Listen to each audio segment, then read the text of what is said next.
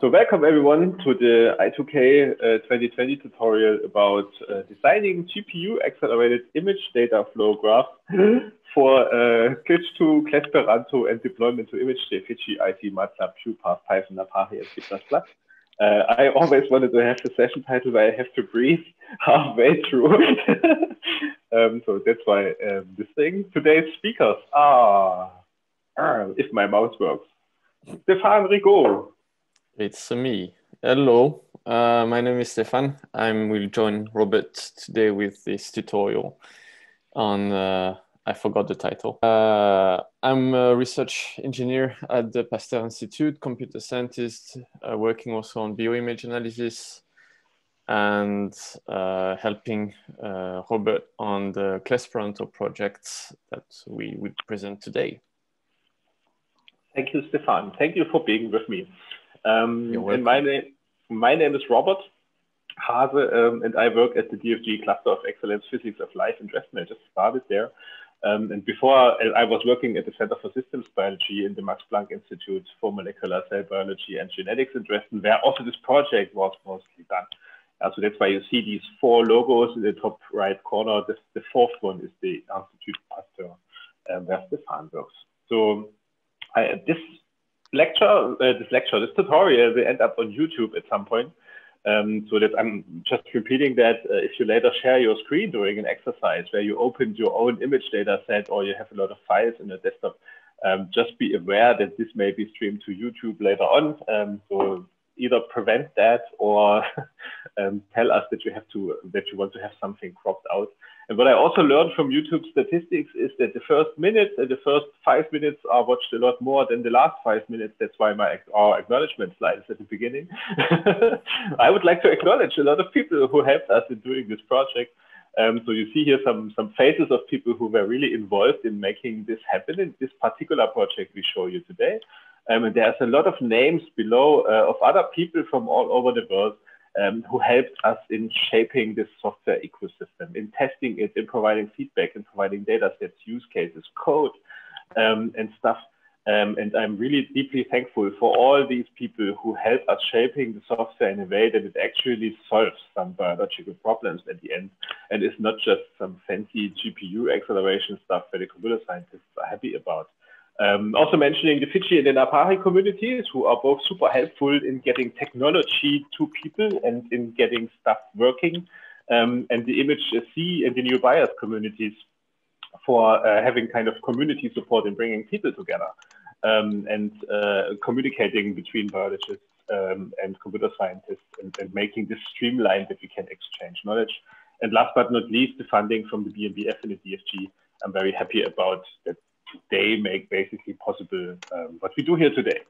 Um, this session in very rough um, looks like that. We have we basically split into two parts, the basics part and um, an advanced part. Um, and uh, both with an introduction kind of lecture style and the other one uh, with some exercises. And we can basically do it like this. Stefan and me presenting some stuff, and then after two and a half hours, we are basically done. Or we can do the following, and I'm strongly suggesting that um, you ask questions all the time. You turn on your microphone, you shout, um, and you ask for whatever you feel like needs to needs to be further explained. So we are both computer scientists, um, but in this uh, um, in the audience here, it's not just computer scientists, not just people who know how GPUs work and compilers. There's also people who know what anaphase is and how cell division works. And I would like to be really happy if we could have an active discussion between these two disciplines. Um, and if we manage that, that we discuss about things all the time, um, then we will have uh, four hour um, uh, lesson. Please introduce yourself with a short sentence before you ask the question so that we know who we are talking to, um, and then we can make that happen you can also write in the chat if you're not comfortable in speaking in public or something like that, and I will relay the questions to Robert at convenient time. Yes, that's also possible. Thank you, Stefan. Um, so the first part will be about um, basics. So um, I will introduce how graphics cards work, what GPU accelerated computing means, and what we can gain from it. Um, uh, then it will be about code recording in Icy and in ImageJ and Fiji, and then we will look a little bit deeper into programming languages. So it is a little bit about coding and it is a little bit technological, but um, you won't regret um, because in the second part, um, we will then show how you can generate code without coding, but therefore you nevertheless should understand how the code works. Um, so that's why we have to go through this first part. So in the second part, it's more interactive, a more interactive user interface for doing the same thing, basically. Um, I will introduce you to some simple artificial intelligence which helps you setting up an image analysis workflow um, in the right way.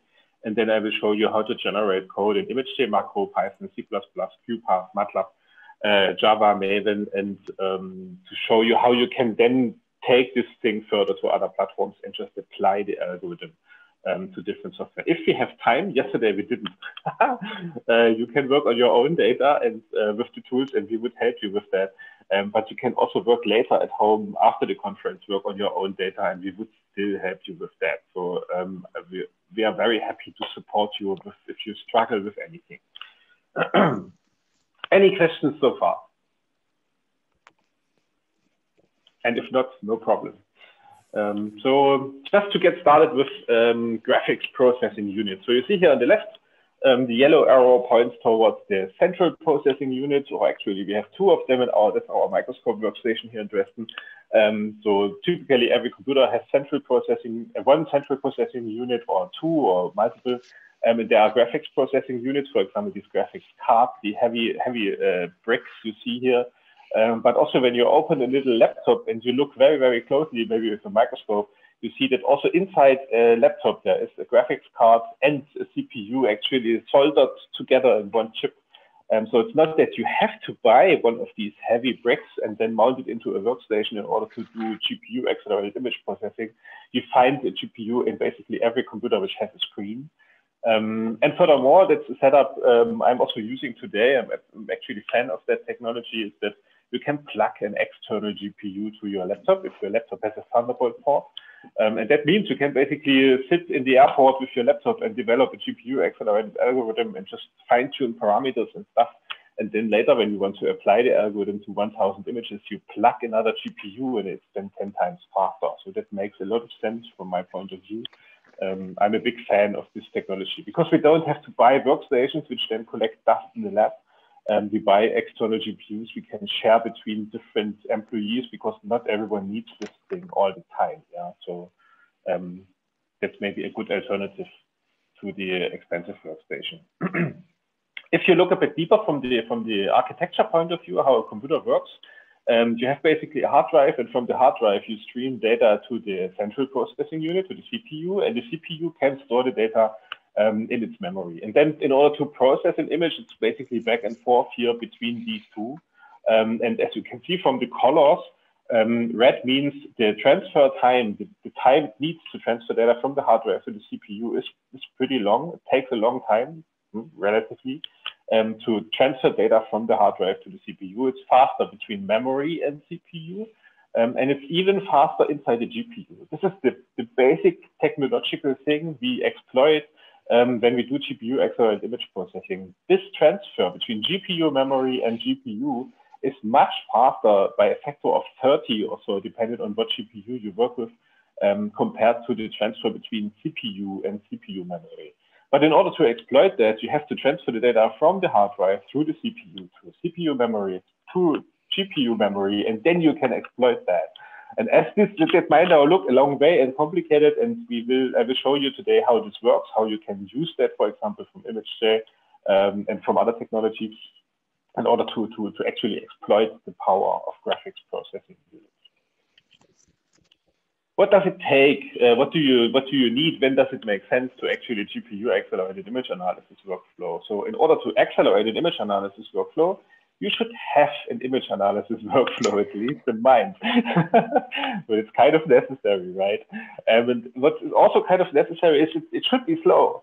So if you if, if your image analysis workflow takes one second per image and it takes another second for loading the image, yeah, two seconds, there's not much to accelerate. So we are talking about workflows where loading takes uh, takes whatever. Um, loading takes a minute and processing takes five minutes or 10 minutes.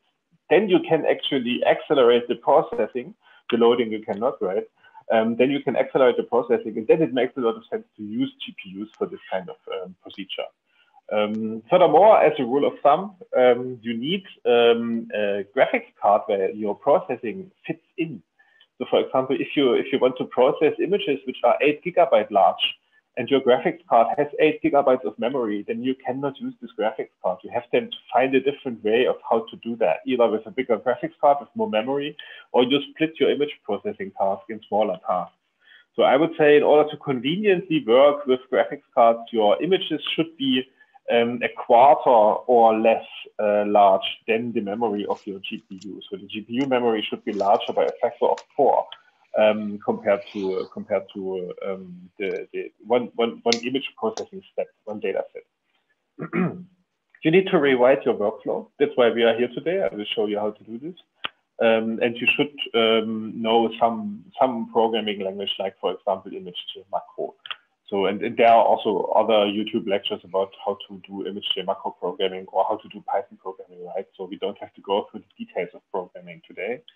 Um, and if you want to really get the most out of it, um, I would recommend buying a graphics card with GDDR6 memory um, and a bandwidth of more than 400 gigabytes per second. Um, you find that usually on the box um, in the store or on the website of the vendor.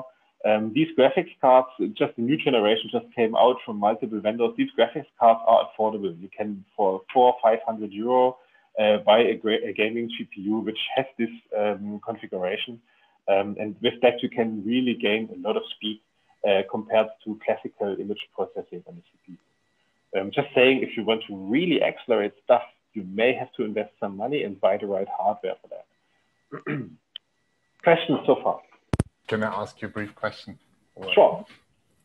Um, how is the situation when you have a when you have a an Intel graphics card that that uses shared memory? Does that help you in any way? Do you have to yes. move things around? I will quantify that in three or four slides. Cool. and welcome, Stefan, by the way. Cool that you have you have you around here. okay, so what can we gain from GPU accelerated image processing? Let's put some numbers on that, right? So we wrote a paper about that um, almost two years ago now. And uh, we were actually benchmarking two computers against each other, my laptop um, and our microscope workstation. And the, so the, the laptop CPU, both from Intel, um, so that, that's where we run ImageJ on, classical ImageJ image processor, right? No fancy plugins. Um, and we compare it to an NVIDIA Quadro GPU and we compare it to an Intel uh, GPU. And I think, Stefan, you have this GPU in your laptop. I'm pretty sure uh, because this is the same GPU you find in basically all Intel-based laptops these days. Um, and we benchmark them against each other and draw some plots on how long particular operations take. And these plots typically look like that. So you see here um, on the x-axis, you see the image size. And on the y-axis, you see the processing time, how long it takes to process that. So for example, a 250 megabyte large image um, takes something like six seconds to process a Gaussian blur on the CPU of the workstation. And you see here the CPU of my laptop um, manages in shorter time. So it depends a bit on how the algorithm is implemented. It depends on the algorithm. It depends obviously on the image size. There's a lot of parameters you would have to think about in order to really um, tell something about uh, tell something about these effects. And here, for example, you see a minimum filter in 3D and processing time. It's here now it's a different way around, right? My CPU on my laptop takes longer than the CPU in the workstation. And here it's something like 15 seconds versus when you look at the NVIDIA GPU, I'm not exactly sure about the number here, but it looks like basically no time. I'm sure it did something, and I'm sure it took some time, but uh, it was hard to hard to visualize in that kind of graph. Also depends on the parameters you apply. So now here the x-axis is different. We have here the sigma of the Gaussian blur.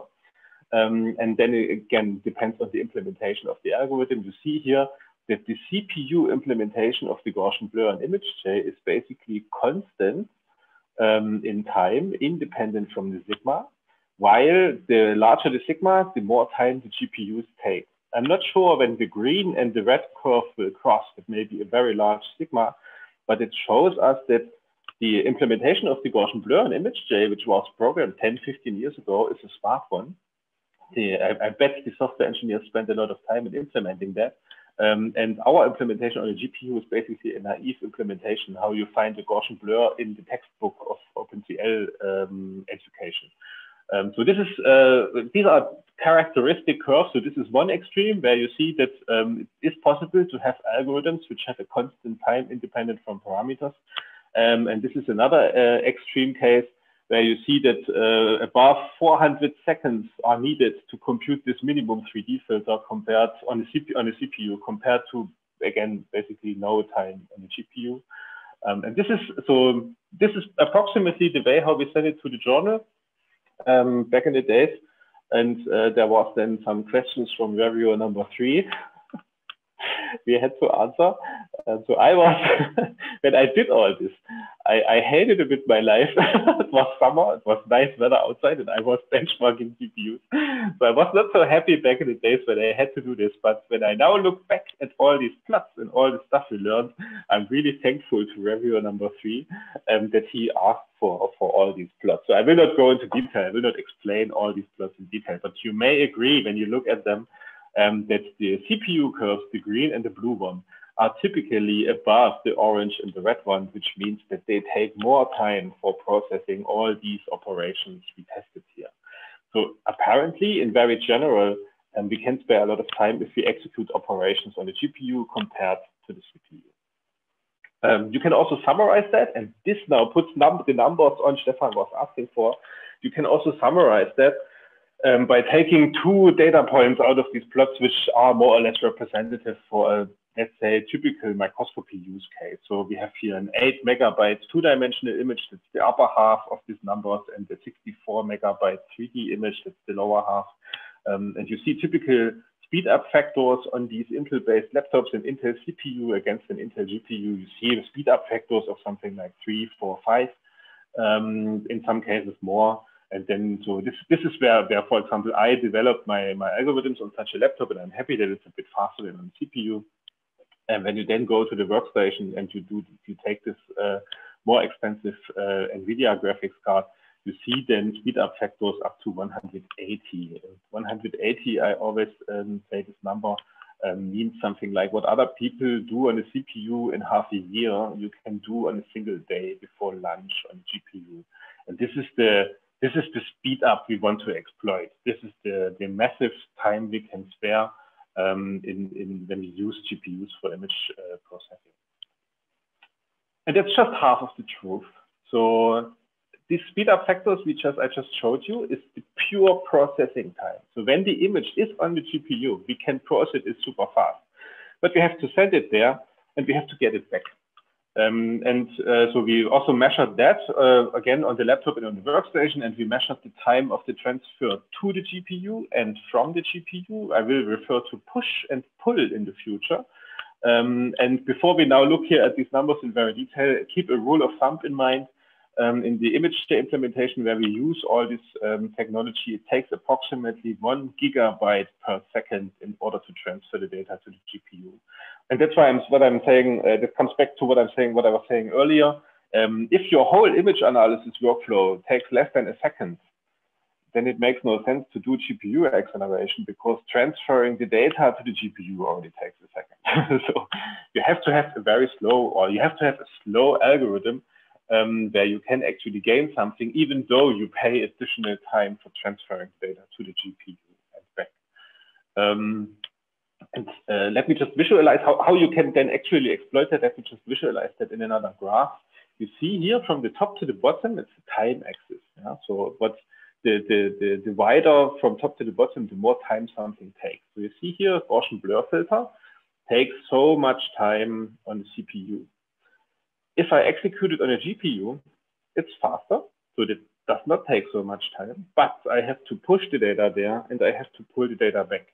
So the whole time for pushing, pulling, and the Gaussian blur is more time than on the CPU. So we cannot execute a single operation. A very important lesson when it comes to GPU accelerated image processing.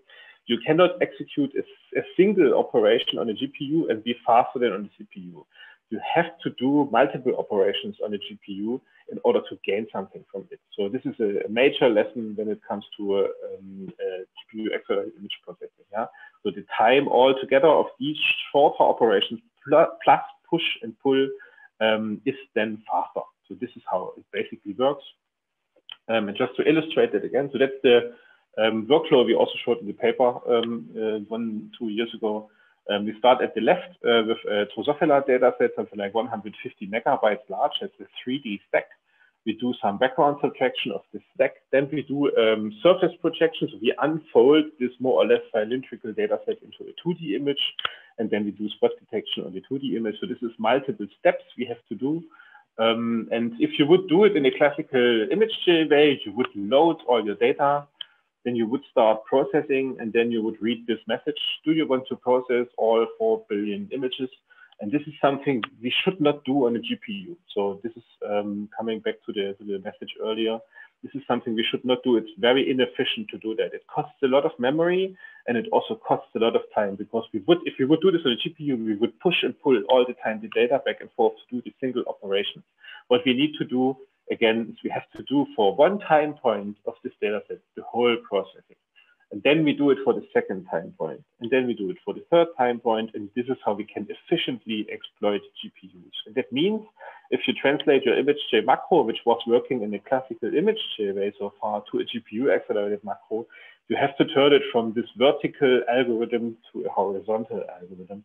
Um, and this strategy you can also do uh, not just with time points, you can also do it with tiles of large EM data, for example, that would also work. Um, and you should, um, if you want to do this, you should reuse memory. Um, so I will explain, we will come back to this later. I will explain it in more detail, but here I'm mentioning already um, that you should not uh, uh, uh um, allocate new memory all the time. You should we reuse the same memory blocks if possible, and exercise 11 shows you why. So if you do that, if you transfer this algorithm from a classical way to, um, to this kind of, uh, we process time point by time point, um, then you can gain a lot of uh, speed up. So here in this particular case, this Drosophila dataset was 300 time points. In classical ImageJ operations, it takes two hours and 44 minutes. Um, if you use it in a GPU accelerated way, you can do that in 11 minutes on the laptop with the Intel GPU. Um, and if you then go to the workstation with the more expensive GPU, you can do it in five minutes. And I think um, you may agree, depending on what kind of data you typically process, that going from, from two hours and 44 minutes down to five minutes is uh, something you may want to exploit. And the very advanced version of how to do that would actually be you take multiple GPUs, maybe a cluster with multiple nodes, and then you basically distribute tasks like that. Um, and I'm just drawing it here roughly of how to do this. And I'm also mentioning just that for this kind of strategy, you need advanced programming skills yet. So um, I hope we can change that in the future. Um, but so far you cannot do this in ImageJ macro. You have to switch to, I would actually recommend doing that in, in Java, for example, or in C++ even. Um, so yeah, questions so far? I need a lot more questions. Otherwise, we will be much too easy done with on. Yes, Stefan. Go ahead. Stefan. Oh, okay, cool. Sorry. Um, so, so I, I, would like to go back to my to my um, first question. Um, so when I so I do have the 620 um, uh, Intel GPU, obviously, because I'm running a laptop. Um, that's a that's a shared memory device. So this uses yeah. uses my RAM um, and up to half of it. So if mm -hmm. I have 16G in my laptop, so it can use up to eight eight gigabytes of, of main memory. Uh, my question was actually, is it necessary to transfer into dedicated RAM of a GPU okay. if your GPU is already using your RAM. So, so, so wouldn't you actually benefit from an Intel GPU because it is um, already living in, in your main memory? Okay. Now I understood your question. I think um, Tobias Pietzsch was um, asking the same question some time ago. Um, I'm afraid that uh, you have to copy. So for two reasons. First of all, you have to copy your data out of the Java virtual machine on the actual kind of out of the box RAM. Um, and furthermore, I would assume um, that you also have to copy from one place in your memory into the shared GPU memory. Um, because if the GPU changes some pixels, it should not change in your original image. You should actually make this decision actively. Um, I could imagine that it's possible with a specific command to say, dear GPU, you are now allowed to work here in this memory space, but I haven't explored that, so I don't know. Um, what I what I can also tell you here um, is that the, the, the, the, transfer between the Java virtual machine into a C++ array is pretty slow. From the C++ array to the GPU is very fast. So there's a, I would say there's an order of magnitude in, in speed difference. It's copying in a Java array. okay, and maybe so you know more about that than I No, so an ideal way would be to to use the natively allocated memory um, at the that the GPU is also using from the Java virtual machine, which is which is possible. Yeah, sure, sure. Um, cool, and thanks. for example, what you can also think of, and I will quickly show it a little bit later, is you can also think of using other image processing libraries like ITK, um, which also does not work in the Java virtual machine, but you can call the operations from Java. And if you, for example, plug ITK and CLIJ together, so OpenCL and C++, and you just call the operations from Java, but you leave the image outside of the Java virtual machine, it's also very efficient. okay, further questions? I think there was another question. Uh, someone is raising his hand in the participant, but you can unmute. Yeah, go ahead. Yeah, hi, hi Robert. Uh, I, I, didn't get like how did you group uh, with uh, images uh, from uh, the uh, embryo because first you told like 4 million images you should not pull, push and pull to GPU because it's too long. And afterwards you describe like, okay, we're still processing like one by one, but was it like projections process, uh, processed by GPU or how was uh, so I can just under- was, uh. I have a bit uh, issues understanding you acoustically. So the idea is to process you. You load one time point of a data set, and then you operate. You call all operations in the GPU of this data set, and then you get the results back. So you should basically send it, push it to the GPU once, do all the operations there, and then pull the results back. So this is basically the, the way how to how to get the most speed out of it. Does that answer your question? So you mean you you send a stack into GPU, not like one slice, right? No, you can send a 3D stack, exactly. Okay. Yes, yes. Yes. Yeah, yeah, sometimes I refer to images when I mean image stacks because for me it's just the same. yeah, sorry about that. Sure, you can, you should actually process stacks as, as a whole um, because um, the GPU is actually a kind of hardware optimized for processing stacks. So accessing a pixel and the neighboring pixels is super fast on a GPU because they built in some hardware acceleration for that. Okay. Right. Cool. Thank you. You're very welcome. Um, okay. Can I One more question. Yes. Uh, what happens when your images are too big and you push them on the CPU uh, on the GPU? Does it freeze or will it just not work? Go kaboom. exactly. You will you will receive an error message telling you that your image is too big, um, and uh, then you have to, then you have to split it into into pieces, or um, often underestimated is also the, the way of, for example, uh, downsampling it. So many scientific questions in the microscopy field are about counting cells. Um, and therefore, it's not necessary to segment the cells in very detail, even though the strategy many people use. I segment the cells and then I can count them, um, but there are alternatives to that. You can downsample your image with and then apply some kind of difference of Gaussian and just count them by detecting them, just spots where a cell is and not segmenting the cell as a whole. Um, and, and that's, that's much easier, much faster with a downsampled image and still get to the right scientific result. Um, so there are always ways around also dealing with, with big images. Um, maybe Stefan will now disagree because Stefan uh, works with 15 petabytes of electron microscopy data. That's really tricky. also, uh, can also Ali.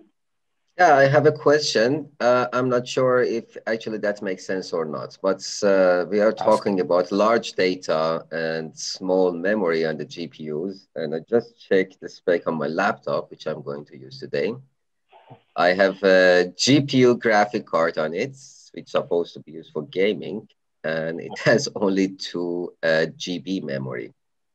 So, and then I have the Intel uh, CPU with also that's um, the GPU, and that would use the share memory out of eight gigabyte RAM that I have. So in principle, for some of the data, for the exercises that I would get out of memory, or some of the examples, or in principle that in one point, I know that for my data, I would get out of memory. Yeah, yeah. So. that, that, that, makes a lot of sense. Um, you can still um, execute the operations on the Intel GPU, yeah. So, um, but it also, it also, I'm also coming back to what I said earlier. If you want to really get speed out of it, if you want to gain something significant, then you may have to invest some money into the right hardware. But nevertheless, you can develop the algorithm for processing your data on your laptop, for example, by cropping out a part of your image data set or by, again, downsampling. So you can develop stuff on your laptop, um, but then later, if you want to, for example, execute it on whole time lapses or on many tiles, mm-hmm. then you may want to do it on a GPU cluster of the university anyway. Um, and they have proper GPUs which have more memory. So then it would work on pot- potentially the whole data set. Uh, here comes the question out of curiosity. Um, can I use two GPUs in one uh, pipeline? So make them talk to each other and bringing the memory together, you know? So bringing Not really that's actually making that's uh, making them parallel working. I mean, that's so you... my Intel would talk to the GeForce one that I have. So you can so the, talking, making them talk to each other would mean push and pull all the time between them. Sending if they send them if they send image data to each other. Uh, but we, what you can certainly do, I'm happy to point you to an example script. Um, again, you need advanced programming skills in Jython or in Java, for example. Um, you can uh, split the data set into tiles and then process these tiles independently on multiple GPUs on one computer. Um, so that's that's definitely possible. And I would also say, um, so we, we Matthias Arzt, a colleague of mine, was actually um, benchmarking that a little bit more in detail. It looks like you can execute two threads at the same time on one GPU. So that means you can process when you have two GPUs, you can process something like four images at a time or four tiles at a time. That works quite efficiently. So you can gain more speed up by parallelizing that. But again, that works not in ImageJ macro. You have to switch to a more advanced programming language for that.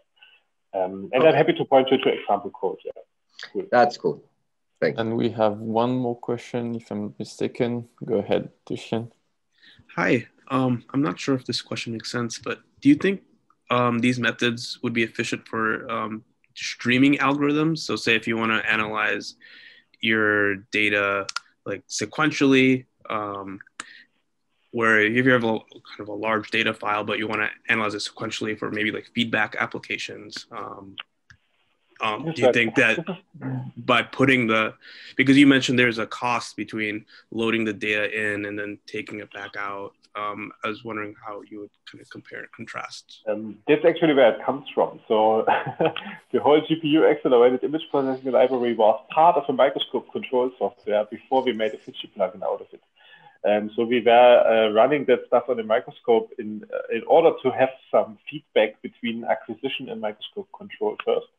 Um, what you, for example, can do, and what we also do here at Routine is um, you have a little workflow similar to the one I showed you earlier. It does spot detection on a developing embryo, um, and we basically see while acquisition, while, while the embryo is in the chamber of the microscope, we can see if the spot detection works. And if the spot detection does not work, um, we can tune parameters and say, okay, we increase the laser power now, or we change the parameters of the image processing algorithm in order to get the, the, the right scientific output um, of the image processing workflow. So we have this together in, in, in some microscopes here um, in the institute. That makes a lot of sense, especially as it is so fast. So if you want to acquire fast and analyze fast in parallel, we need GPU acceleration actually. Very good question. Thank you very much. I had one other question. Um, mm -hmm. Does having a CUDA GPU versus non-CUDA matter, or? So yes, um, because for example, we have seen it earlier that the Intel GPUs are not as fast um, as the NVIDIA GPUs.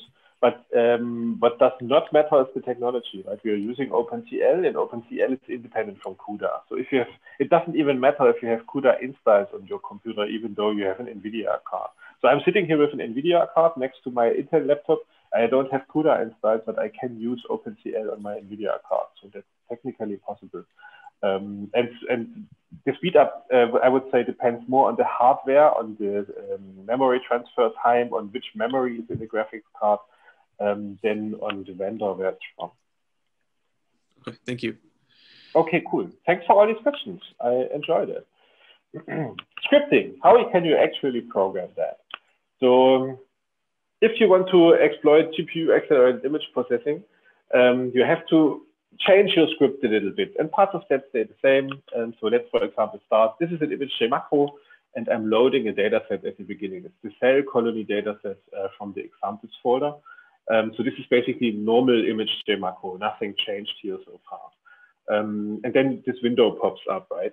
If I want to use a GPU, I have to execute these two lines, actually just the first one.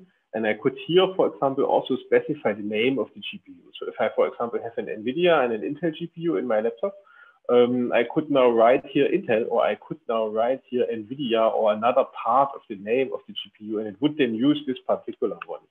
Um, furthermore, there is a clear command here, which clears the memory of the GPU. So all images which are in there are deleted. Um, I'm doing this at the beginning, um, like when I would go to the lab, I clean my desk first because I'm not exactly sure what um, the other postdoc or student did yesterday. and it's basically the same here. If you develop an ImageJ macro, it's pretty normal that while developing it, it's pretty normal that it crashes. So you cannot for sure say that the GPU memory is empty. To ensure that the GPU memory is empty, you should call a clear command at the very beginning. Um, so that's why this line is here. Um, and then you do, that's the, the first line is still normal ImageJ macro. You read the title of the window, um, you save it into a variable, and then you say push this image to the GPU. So this is what this command here is doing. Then the image is available in the GPU, and then I can process it. For example, I can apply a Gaussian blur to it. So we find here the Gaussian blur command with the input image, the output image where the result should be saved to, and the sigma parameter in x and y. So that's a normal Gaussian blur in two dimensions, right? And all commands in CLIJ work like that. You always have input images, output images, and other parameters. It's always like this. Um, furthermore, this result image variable here does not have to exist before. If somebody of you tried um, CLIJ1 earlier, this was different. This is now new in CLIJ2. This variable does not have to exist before calling this command. It exists afterwards. Fine. Um, and I can, after I did the blurring of my image, I can release the input image. I can say, okay, I don't need this anymore. Dear GPU, delete it. I don't need it anymore. Spare memory, right? Releasing an image. Um, and I don't see a result yet on screen. I have to, in order to see the result on screen in the window, I have to call the pull command, the pull command of the result image, and then a window pops up. And that means that all commands which are executed on a GPU, CLIJ itself, is headless. So runs in headless mode in ImageJ macro all the time until you say, okay, pull, I want to see a result now. Um, and it also means if you have a long processing workflow, not just a Gaussian blur, um, if you have a long processing workflow, um, you should pull intermediate results while developing it to look at the intermediate results if they are okay. And when your workflow is done, you should comment out all these pull commands because pull takes time, as we have seen earlier, right? And by the end, clean up. Before you leave the lab, yeah, there's infected table. Um, and when I presented it last time uh, in uh, on a NEUBIAS conference, actually, or NEUBIAS Home Academy, um, people asked for how does this work in other programming languages? And that's why I have this slide now here. how does this work in ImageJ Jython? so you see already in the first line, um, ImageJ Jython is a little bit more complicated than ImageJ macro, but it's basically still doing the same thing. Yeah. So we say here something like imagej.openImage, and then we have to paste the URL of the image we want to load. We also have to have an import statement. Um, and also ImageJ runs in headless in normal mode, let's say. You have to explicitly say that you want to show the image, otherwise you would not see a window on screen. So this is, has nothing to do with GPU acceleration. This is image ImageJ programming if you want to use GPU accelerated image processing, and um, so this line is now also relevant, for example, for Java developers who want to make Fiji plugins later on, um, you have to import CLIJ2 and then call this line in order to um, initialize um, the GPU. You can here in brackets also specify in quota um, the name of the GPU again, or if you have multiple GPUs with the same name, you can multi you can enter numbers here. I want to have um, GPU device number zero, number one, number two, number three. And you can have multiple of these variables and execute operations in parallel. So Ali, this would be a starting point for diving deeper into parallel processing. And again, I'm happy to point you to examples when it's there. Um, in, in Jython, you typically have the image in a variable. So you see here at the beginning, I was saving this image in the variable IMP. And that's why I can push IMP to the GPU, and I will get a new variable back which represents the image on the GPU. Um, and I can then process it with a Gaussian blur, input image, output image, other parameters. And here, this blurred image, I have to allocate before. I have to get an image where I can save my results into, and I can do this with a create command, for example, um, like this. This create command creates an image of the same size like the input image. Yeah? The Gaussian blurred image still has the same dimensions as the original image. And again, um, you, should, you can close the input image after executing this operation, and you need to pull it in order to really see it on screen, and you also have to call this show command. By the end, um, you can also uh, call the clear command to empty the GPU. And here a note, if you program a plugin for CLIJ, please never call the clear command because if your plugin runs inside the plugin of somebody else, you would break the plugin of somebody else when you clear the memory by the end of your execution, right? So this is for this is a command, a, co a convenience command for scripting. Um, and uh, how does this look in MATLAB? Again, also yeah. in MATLAB. Yes, there was a question. question uh, to the to the line, uh, the previous slide. So why do I have to rename the image when I push it to the GPU? Can't I just say imp equals clij2 push imp? You could do this. Um, you could actually have the same variable here, here on the right and on the left. In Jython, in Python, that would work. Um, in scripting languages, which are not typed, that's the term for that, would work. Um, I would say if you are a brave programmer, you don't do this um, because it makes your code harder to read. Um, if if if you would have imp here and imp here, it would be different things which have the same name. So like like you're sitting in an office with five other Teresas, um, and and they all have different skills and they all have uh, different working times. It's it is then tricky to to know which Teresa is actually responsible for the microscope. So right so brave programmers don't do that. And in some programming languages like Java, C++, it wouldn't even be possible. Um, or only with, yeah. but good question, thank you. MATLAB. So this is um, opening an image in MATLAB and showing it. Obviously, the code is different because that's MATLAB now. Um, if you want to um, initialize CLIJ in MATLAB, um, you have to call the method init um, because this is how CLIJ is called in MATLAB. Um, and when you install CLATLAB into your MATLAB, you will also uh, learn why this is. So this is basically a MATLAB file you have to put in a specific, specific folder, which takes care of the initialization. Um, and then you will see in MATLAB, you don't call push, you call push mat. Um, that has something to do with the fact that uh, in, in ImageJ and in Java, we typically work with images um, which have the dimensions x, y, and z. And in MATLAB and in Python, people usually work with images with have the dimensions z, y, x. So the x's are inverted. And in order to deal with that, we have to call here now a different command. And so we are basically switching the worlds between x, y, z and z, y, x. And this is what this command takes care of. And because this command takes care of that, we can afterwards basically call the same code here for the Gaussian blur like we just did in Jython, um, but we call it in MATLAB. So it is basically the same code. Also here, again, you see the create command for creating a blurred image. You see the input image, you see the output image, and you see the other parameters. So these commands are supposed to be as similar as possible between all these different programming languages. Because um, I would like to work with people who use ImageJ macro. I would like to work with people who use Java, and I would like to collaborate with people who do MATLAB without rewriting my code all the time. That's why these commands are as similar as possible between these different platforms so that we can all exchange stuff um, when it comes to GPU accelerated image processing. You can again close it, same command as earlier, and you can pull mat um, to get the result back, and then you can show an image. So this line here should not be commented out. I'm sorry for that. Um, and you can clear the GPU by the end. Um, and before I bore you to death, I would say Stefan, take over. Show us how that works in IT. Uh, uh, Robert, can I ask you a question? Sure. Yeah. Um, so um, uh, it's interesting that we can use CLIJ for MATLAB, but uh, how is it different from this uh, parallel computing tool, tool toolbox, like using parfor or parfeval? So uh, I'm not exactly. So we had a similar question yesterday. There's apparently there's multiple GPU accelerated toolboxes in image uh, in image in MATLAB. Um, I think I'm not sure. I think they are all CUDA based. Do you know by chance? Uh, no, this I need to check. So I, I can tell you that the parfor uh, in MATLAB is not GPU, it's parallelization on the CPU.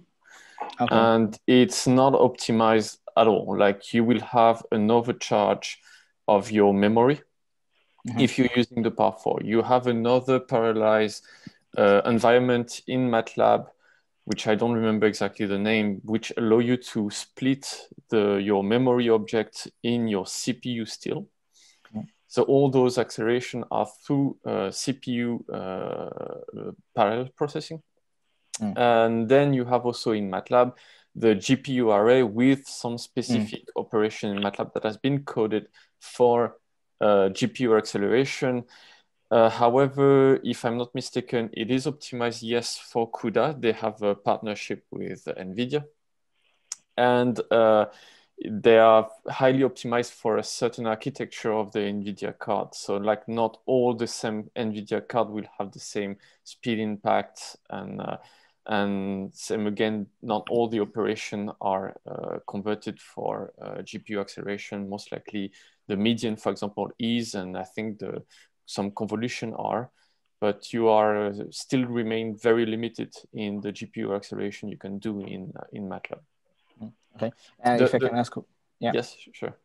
Um, so uh, there's this uh, interface for bridging MATLAB and uh, uh Fiji. So using this MATLAB uh, ImageJ toolbox. Um, so I have had problems in uh, doing this because it was not always very smooth. Um, so my question is, is uh, CLIJ working well while using this bridge toolbox, like the plugin? Yeah. So you should you should definitely so you should definitely ask not the developer if, if his stuff's working well. Of course, it always works never breaks. no,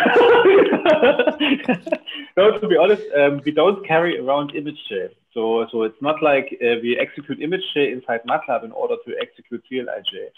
CLIJ is an independent software which runs in multiple platforms mm. and is compatible to ImageJ and is compatible to MATLAB. Mm. Um, so that's why I would be optimistic um, that it works better than what you experience in with um, uh, the MATLAB ImageJ bridge. I'm also not sure if the MATLAB ImageJ bridge is still actively maintained. Um, so uh, this thing is maintained, especially CLIJ2. And I'm hereby, this video later on ends up on uh, YouTube. Yeah, I'm hereby promising if you report a bug in CLIJ2, I will take care of it. at least for some time, right? So we have a release cycle yeah. every every year. There is a new version coming out, and when when I say this works and this works in MATLAB, then you can mm. trust me. And if you struggle, please let me know. I can mm. only fix bugs if people tell me about them. Mm. So um, and I'm looking forward to your feedback after you tried it. Yeah, sure. Great. Thanks very much. So, so Thank to you. continue on your question, yes, yeah. the, the Fiji integration in MATLAB is really not the most uh, stable thing. I would discourage to use it if you can. Mm-hmm. The other thing also, I'm using uh, CLIJ, uh, and uh, uh, in MATLAB, one of the good things is that the operation are the same. Like what you do on Fiji, what you do on MATLAB, the operation, the computation behind are the same and the algorithm are the same. Well, I don't know how many times I use like at some point uh, something on Fiji and then I want to use the same same algorithm on MATLAB and I have something slightly different with uh, because I don't know the approximation is different, the algorithm is different, and the final result is not exactly the same, and mm. it escalate in my pipeline. And the final final result, I have a delta which is much bigger than at the beginning. Mm. Here, all the operations are the same. Yeah. Okay. Great. Thanks very much. No more question. Can I okay. ask one? Yeah, sure. I'm uh, mostly work in Python, uh, so all these packages, uh, amazing packages, NumPy, SciPy, uh, scikit-learn, uh, Skimage, and so on. And uh, as uh, uh, CLIJ only supports integration with MATLAB, I feel like a bit out of uh, both. You know, uh, it's, it's hard to integrate CLIJ uh, into my Python pipelines. let's say. So, so is it planning to be developed in future? We have one word for you. Wait for it. no, it's, it's, it's planned. You, can, you can in the meantime, if you like, uh, Google it's, PyClesperanto. And we will, in the second part of the session, talk about it in more detail. So it's more than do that planned. In Python well. okay. It's more it's much, planned. It's much more than planned, yes. just, just wait, wait, maybe half an hour, and all your dream will be answered. Close enough. Uh, thanks. Uh, so to continue uh, on uh, scripting here with uh, uh, introducing Icy bioimaging, which is a, a software developed in Institut Pasteur for bioimage analysis. Um, you can also do JavaScript, which is run in Icy. And here again, we are dealing with the same pipeline operation that you would do in the previous scripting. You first load your data here as a sequence uh, with uh, the, the, imported class uh, loader and uh, that will actually pop up your images in the Icy software. You can then again initialize the GPU with what um, uh, indicate the GPU you want in the instance, but again uh, similar to the other process, and then push the sequence. So here in the Icy, the images are called sequences. Um, and you here push the sequence in the CLIJ uh, GPU uh, class, giving you a buffer ready to be uh, processed. You can then process the buffer here with a, a called Gaussian uh, blur, where you have your input, your output, and your two sigmas for both dimensional. And you see that uh, in the contrary of the, of, uh, the PG macro, you have to declare your output and defined the dimension that you are expecting, which here are actually the uh, image dimension of the, our inputs is uh, automatically. We know it, but you could get the dimension directly from your sequence and use it instead of a hard coding uh, value. And once your process is done, you can pull the sequence and display it on your uh, output uh, uh, visualization. However, uh, you can see that the more we go in the in scripting, the more it's getting complex to actually write uh, and get used to some specific language like JavaScript. Myself, I'm not very good with it. So the good, uh, oh, sorry, and you clear the you clear the memory, of course. Don't forget that. Um, so the the good thing here is you can actually in Icy uh, start a recorder similar to what you could have in the record Fiji macro and what he will do is every time you will run an Icy, uh, a CLIC um, module, he will record it with the actual parameter, the right size of your image, and he will record it uh, sequentially as you do your operation. So here we apply a top hat filter, then a maximum Z projection on our data. Every time you can specify the device on which you want to run and the parameter, and you obtain output and you can run the recorder, which will give you at the end your final uh, JavaScript uh, um, script ready to be reused on the same input data or another one if you want, or save it and reload it later on. And it will already manage all the input and output buffer uh, from the GPU, all the pull and push request, and the final clear memory uh, at the end. And let's start to, we start here to actually going from this manual scripting to automatized uh, scripting or at least recording and making the life easier for you as soon as you want to make some more complex uh, scripting. And of course, you can do that the same in Fiji and ImageJ. So in ImageJ Fiji, uh, you also know about the recorder already. I mean, those of you who are familiar with Fiji, you may have tried this one earlier. So you find the recorder in the record menu. um, that's a window you may have one to open um, anyway all the time. Um, and then in, I, we took some care that using GPU in ImageJ is as convenient as uh, calling normal operations in ImageJ. You have a different menu, so it's here under plugins, ImageJ on GPU, CLIJ2. Um, but basically, it's the same procedure. You open a dialog, you enter some parameters, and then you have the result, for example, from the Gaussian blur. You can also search the operations in the search bar of Fiji, for example, for thresholding with the Otsu algorithm. Um, then the particle analyzer has a little bit of different name here. It's connected components labeling. Um, you can also call this one for visualization, for example, to show here these objects in different colors, we still use normal ImageJ functionality, um, the glass bay lookup table. Um, and if you, for example, want to exclude labels on edges, but also it's a checkbox in the particle analyzer is here an independent operation, because everything that makes something new, every operation should be an independent operation from a computer science perspective. Um, and then you basically see how the recorder was recording code all the time while you basically executed operations like you know it from ImageJ already. Um, then you can look at the code. Um, you can just run it and it will execute the same operation again. Um, I put a massive amount of effort into making this recorded code executable as it is. Um, those of you who are familiar with the recorder, you may see um, sometimes you record something and then it doesn't work. because you have to change this thing, and it's always like that. Um, so here on IJ, this is not the case. Ideally, the code just executes. And again, um, if you think I'm lying, please tell me. Go to the image.sc forum and write down what you did, and then the code was not working, and then I can fix it. So user feedback is very important. Let's take a closer look at the code. So this is the code which was recorded. Um, and you see here again on top, Gaussian blur, input image, output image, parameters, Threshold Otsu, input image, output image, connected components input image, output image, execute labels on image, um, input image, output image. It's always the same. The commands all work the same. They just have different names. They do different things. And what you also see, I have here these pull commands always afterwards so that I can have a look at the intermediate results. And again, when my workflow is finished, developed, and I'm happy with it, I would comment out all these pull commands because pull takes time. Um, so this is how the recording works in ImageJ. And there's a different way, uh, another way of um, execute of, of writing code in ImageJ with the auto completion. So you find in the auto completion folder when you start typing Otsu, you find you get this a little help box, and you can in this help box click on a link which opens the website.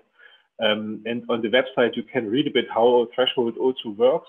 And you can also, how you see here, you can also see which operations are typically executed afterwards.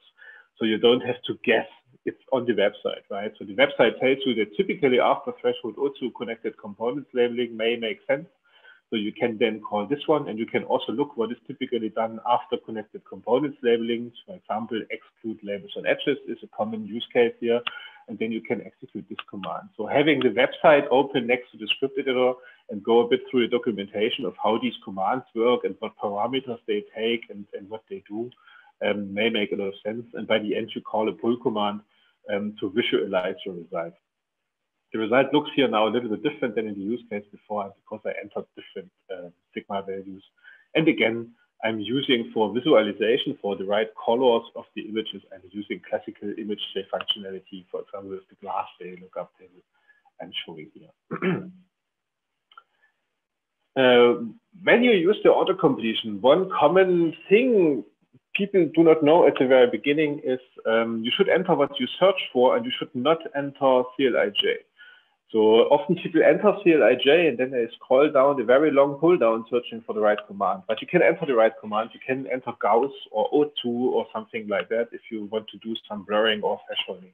You can also enter thresholding and see all the thresholding algorithms which are implemented in CLIJ. Um, I'm just saying it doesn't have to be the start of the command. It can be any part of the command in order to get the right content of these suggestions in this pull down. Um, furthermore, you can, if you are on the website and you go through the reference, um, you can also copy paste code from there. So here you see Java example code, and again, you see how the GPU is initialized. Um, you see how to set the parameters, then you see how the Gaussian blur is executed, input images, output images, parameters. You see the pull command, you see also the release of the parameters. So it's, it's all there, you can just copy paste that. Um, also available for MATLAB. Again, you see it's basically the same code. Um, and you also see it in Icy JavaScript. Then this answers an earlier question. This is how to execute that from Python. Um, not all commands are um, available in Python yet, um, but uh, we are coming closer. Um, so in Python, you also see that it's all a little bit simpler and shorter. um, and if you scroll down this website further down, you find example code in multiple programming languages. And for example, if you do MATLAB, um, you will get used to searching for the orange box here at the bottom and uh, check out how a MATLAB example using this particular command looks like. Um, then together with Dani uh, from Myers Lab here in Dresden, um, I'm very thankful to Dani that she helped me with that.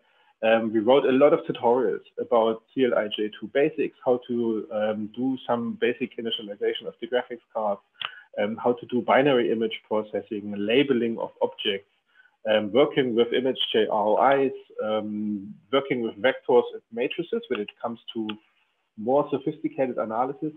You can also um, segment cells, for example, and then study neighborhood relationships between cells. Makes a lot of sense in biology and is functionality which you cannot find in ImageJ otherwise, at least not easily. Um, so for example, if you want to know how the distances between neighboring cells are, how many neighbors neighbors have and neighbors of neighbors of neighbors, um, there's example code for this. Um, then the Drosophila example I showed you earlier, and I'm also working, I'm also working a lot with, with tribolium data.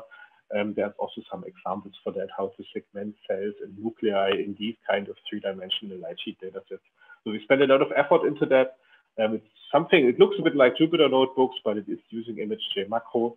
Um, and as you have seen earlier, the other programming languages, the commands are basically the same. Um, what might also be helpful is the cheat sheets. The website uh, has a PDF with that. Um, so I also don't have all the commands in mind. Yeah, sometimes I just want to take a close look. I'm searching for an edge detection algorithm. So then you go through this list to see. I have an image which looks like that, and I want to create an image which looks like this, and then I have to do ah difference of Gaussian. So you basically see input images, input parameters, and you see the corresponding command. Not a complete list, um, but it might be a starting point. Um, and it contains filters, but it also contains, for example, here you see on the right operations for dealing with neighbors, drawing meshes, meshes between neighbors and stuff like that. And so also the sophisticated code. Um, and that's one of the last things of the first session um, I wanted to mention. Something like 10 years ago, I saw this error message actually pretty often popping up. My image J was running out of memory. So I don't see this message so often anymore.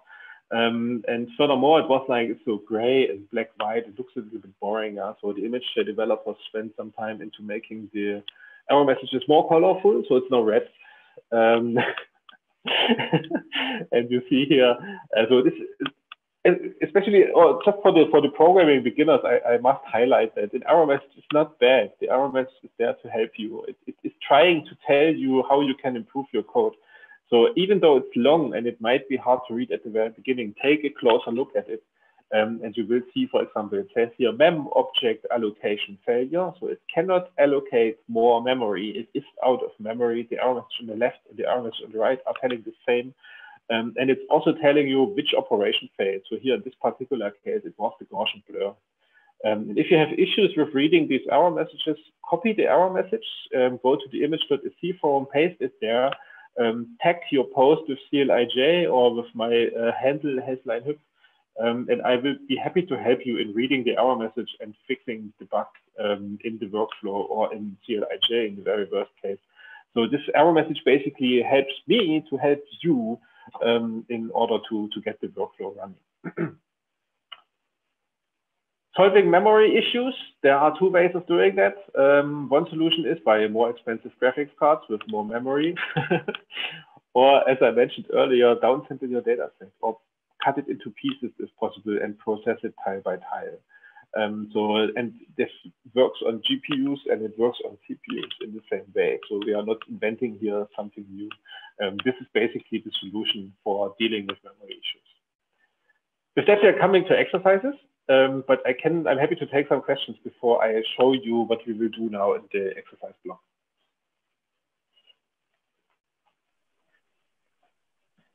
And if not, I will just go through the exercise.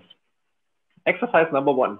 If you haven't, exercise number zero, actually, if you haven't done it yet, um, please install CLIJ and the CLIJ assistant we will use in the second part of the session um, into your Fiji.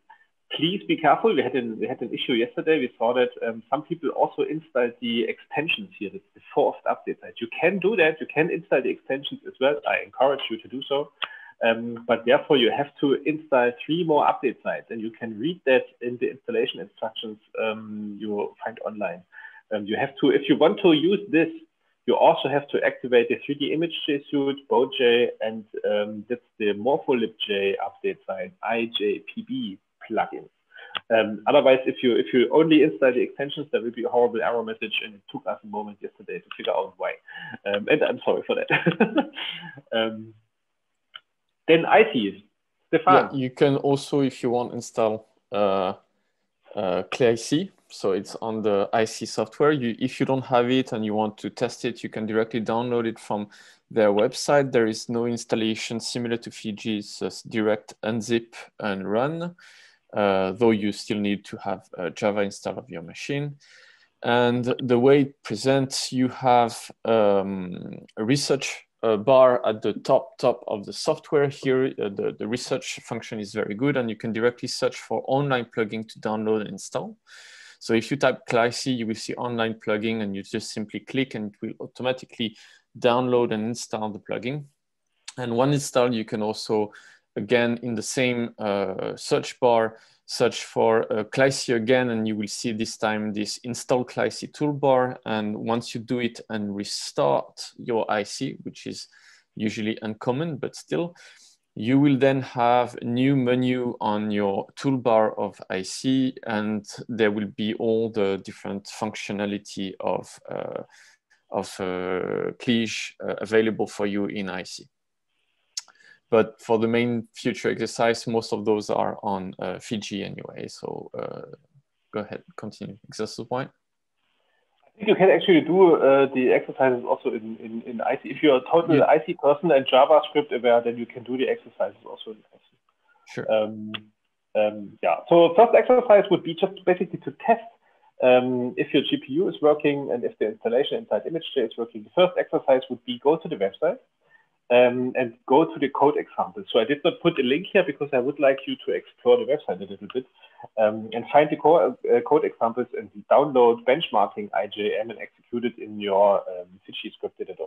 So you will then see it's executing a mean filter uh, 10 times on the CPU. It measures the time. Then it does it 10 times uh, with CLIJ2. And then it does it 10 times with CLIJ. And you can basically see how high the speed up is it's a quite extreme case, a special case, also this filter. So what takes here um, three seconds on my laptop, uh, the GPU can do in um, eight milliseconds.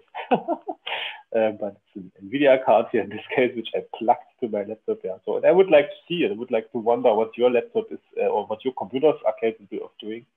Um, furthermore, download this macro here. You have a link and execute it on your laptop. And from this, um, it will print out something to the log window. So search for the log window. And from this block of technical blah blah, um, you can read out the specifications of your graphics card. So you can figure out, um, first of all, you can figure out which graphics card is used per default. Um, and you can also figure out um, how large images can be, which can be processed in your GPU. So you should know what your hardware is capable of doing before you start using it, right? And you can read that from here in the reading exercise.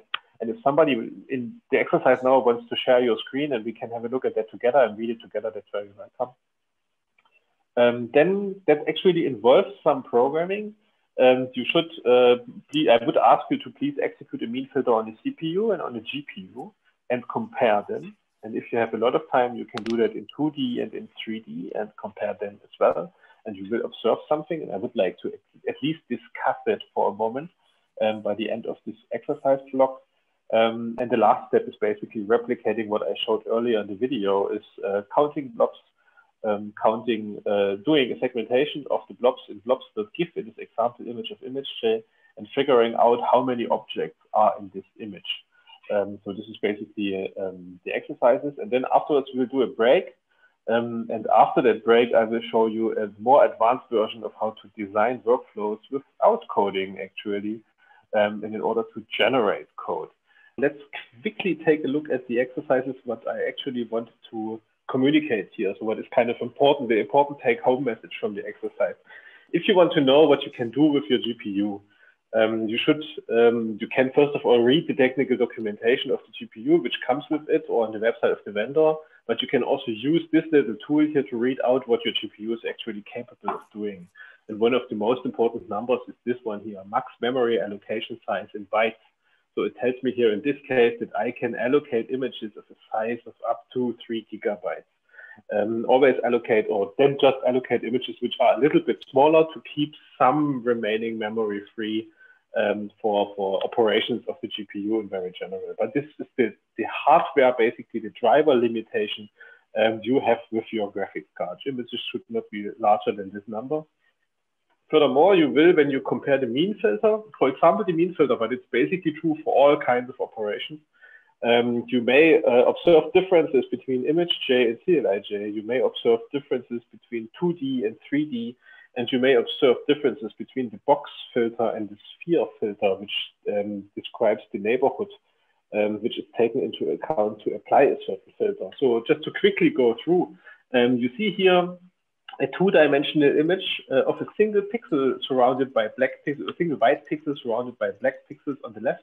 This is a 2D image, and this is a 3D image of this single voxel in one of the planes. Um, if I apply a 2D mean filter on the GPU, so this is CLIJ, um, and uh, for example, this is, would be the sphere filter. So this is a sphere. um, and I can do this in 2D and in 3D, and it would result in the same.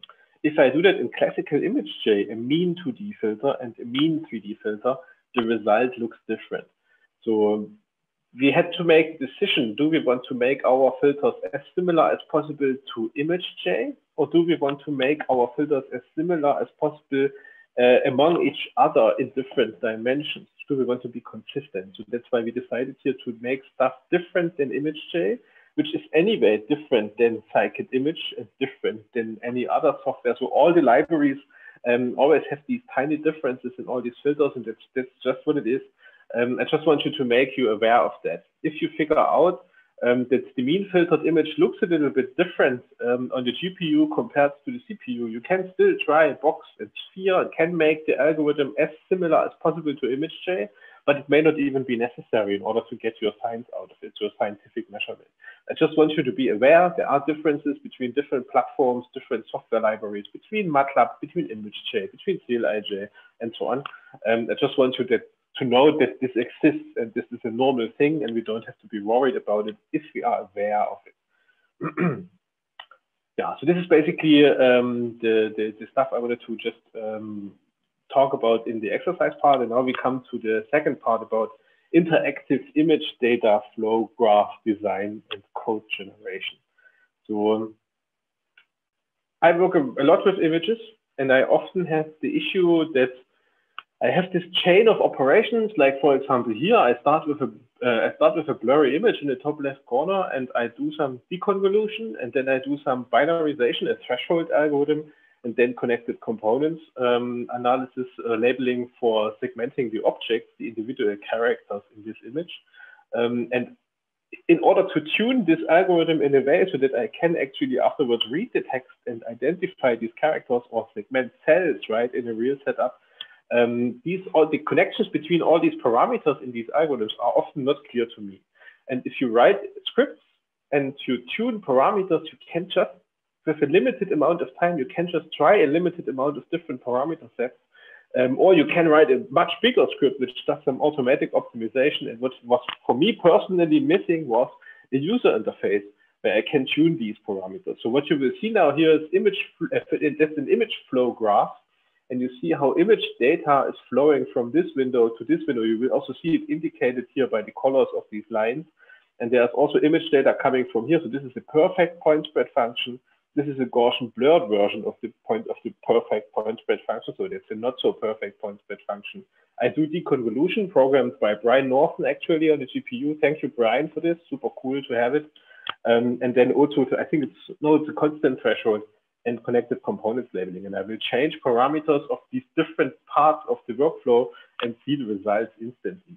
So you see now how I will I will increase increase the number of iterations for the Richardson Lucy deconvolution first, and the image looks better, but I cannot segment these characters, so it's not doing the thing. But when I further tune my point spread function used for the deconvolution, I suddenly can do this. So this is basically a user interface for setting up GPU accelerated workflows without coding. So this is basically the idea behind. Um, and it works um, it works uh, with the magic button in uh, toolbar, as you see here. Um, this button is the tool which allows you to start that. So you can start from any image and then it opens a copy of this, in this case, two-dimensional image of a time lapse. Um, and then I can, with the right click menu from this window, um, select operations. They are in different categories. There are some suggestions, there's some stuff. Then I can build my workflow without moving the mouse from, from the window where I'm working on to the main window and back. So I basically stay where I am. I can also move windows. And when you, you may have just seen that, um, uh, windows also move with their parent window. So if I move a window high in the hierarchy, the other windows are moving with it. Um, and in that way, I have a, a, a, user interface giving me an impression of how these operations are connected to each other um, on my screen. And of course, it works very well on a super big screen, um, ideally on a touch screen when you stand in front of it and feel like Tom Cruise in, what was the name of the movie? Uh, uh, Minority Report. Moving windows right, right? So that's, uh, I think it's pretty cool. Um, yeah, I have a data set from uh, Elizabeth. Elizabeth, do you maybe want to tell us what we are looking at while I play the video? Thank you very much for the data, by the way. Yeah, sure. Thank you. Um, so we work with lighted data, and to this we mainly work on the Zebrafish brain vascular architecture. Sorry, you can see me. No, you can see me. Um, and so we are interested into looking at how basically the vasculature develops in the brain. And so these are just 3D stacks, and the vasculature is visualized in a uh, with a transgenic, so they are alive. Those fish. And the signal is actually pretty good. But what we want to do is now actually quantify the vasculature um, and to speed that up, that would be fantastic if we could. Maybe we can also talk about quantification of vasculature later. What, what I'm doing here in this workflow, just for quickly showing with your data what you can do with it, is um, I applied a make isotropic step. So I have then isotropic data. From the isotropic data, I can apply a rigid transform to rotate it in space. Um, and then after I look at some maximum projections from X, Y, and Z, um, I generated an ImageJ macro markdown notebook with, with the code which reproduces the workflow we just saw on screen. So in this case, it's a, it's a visualization workflow for getting, for looking at the zebrafish from a particular perspective. And uh, after you have tuned your workflow in order to show the data, then you can generate code which allows you to reproduce the workflow. So that's, and it's say an advanced version of the recorder. You don't record what while you are clicking, you generate the code after every step is set up as you want to have it. So um, and it, it, allows you to go a bit um, beyond uh, a recording because you don't have to clean up the recorded script afterwards. Thanks again for your data, Elizabeth. Um, very, very nice. Uh, appreciated for sharing open data. Thank you. um, so here again, back to this, uh, by the way, a little piece of a Drosophila embryo where you see some cells dividing. Um, you can set up some quite sophisticated workflows. Here again, um, I start from my original data set and I do some segmentation. Um, then I use a kind of Voronoi algorithm to blow up this segmentation so that all pixels in the image are filled and associated to the closest um, uh, nucleus, um, which sits there in the original data. And then I can, with different algorithms, I can draw meshes between these nuclei. So for example, I can say here on the left, please draw a mesh between n closest neighbors. So in this case, it's draw a mesh from every cell to the six closest neighbors. Here you see draw a mesh to all the neighboring nuclei, which are closer than 32 uh, pixels away. And here you see, starting from the Voronoi diagram, drawing a mesh of all the neighbors which are touching. So you can set up a workflow like that, and then you have these three different algorithms for drawing the mesh. And when I click now here on play, you will see um, then I go through my data set in time and I will see some cell divisions and I will see how the cell divisions and how there are suddenly there are more nuclei and they are differently distributed and it screws up these algorithms on the very bottom for drawing these meshes. So I can study how algorithms perform on time-lapse data, for example, um, just by setting up the workflow and then going through the data set in time and seeing how it, how they perform. And I can then tune the parameters depending on the time point where I am in. Um, and uh, that gives you basically the chance, again, instead of scripting something like that and outputting a lot of images where you have to look at if it's working or not, or quantifying, however, uh, mesh quality can be quantified, um, you can visually tune your parameters of a complex workflow on screen. So this is basically um, the idea of um, this toolkit. And to go a bit, I mean, questions so far?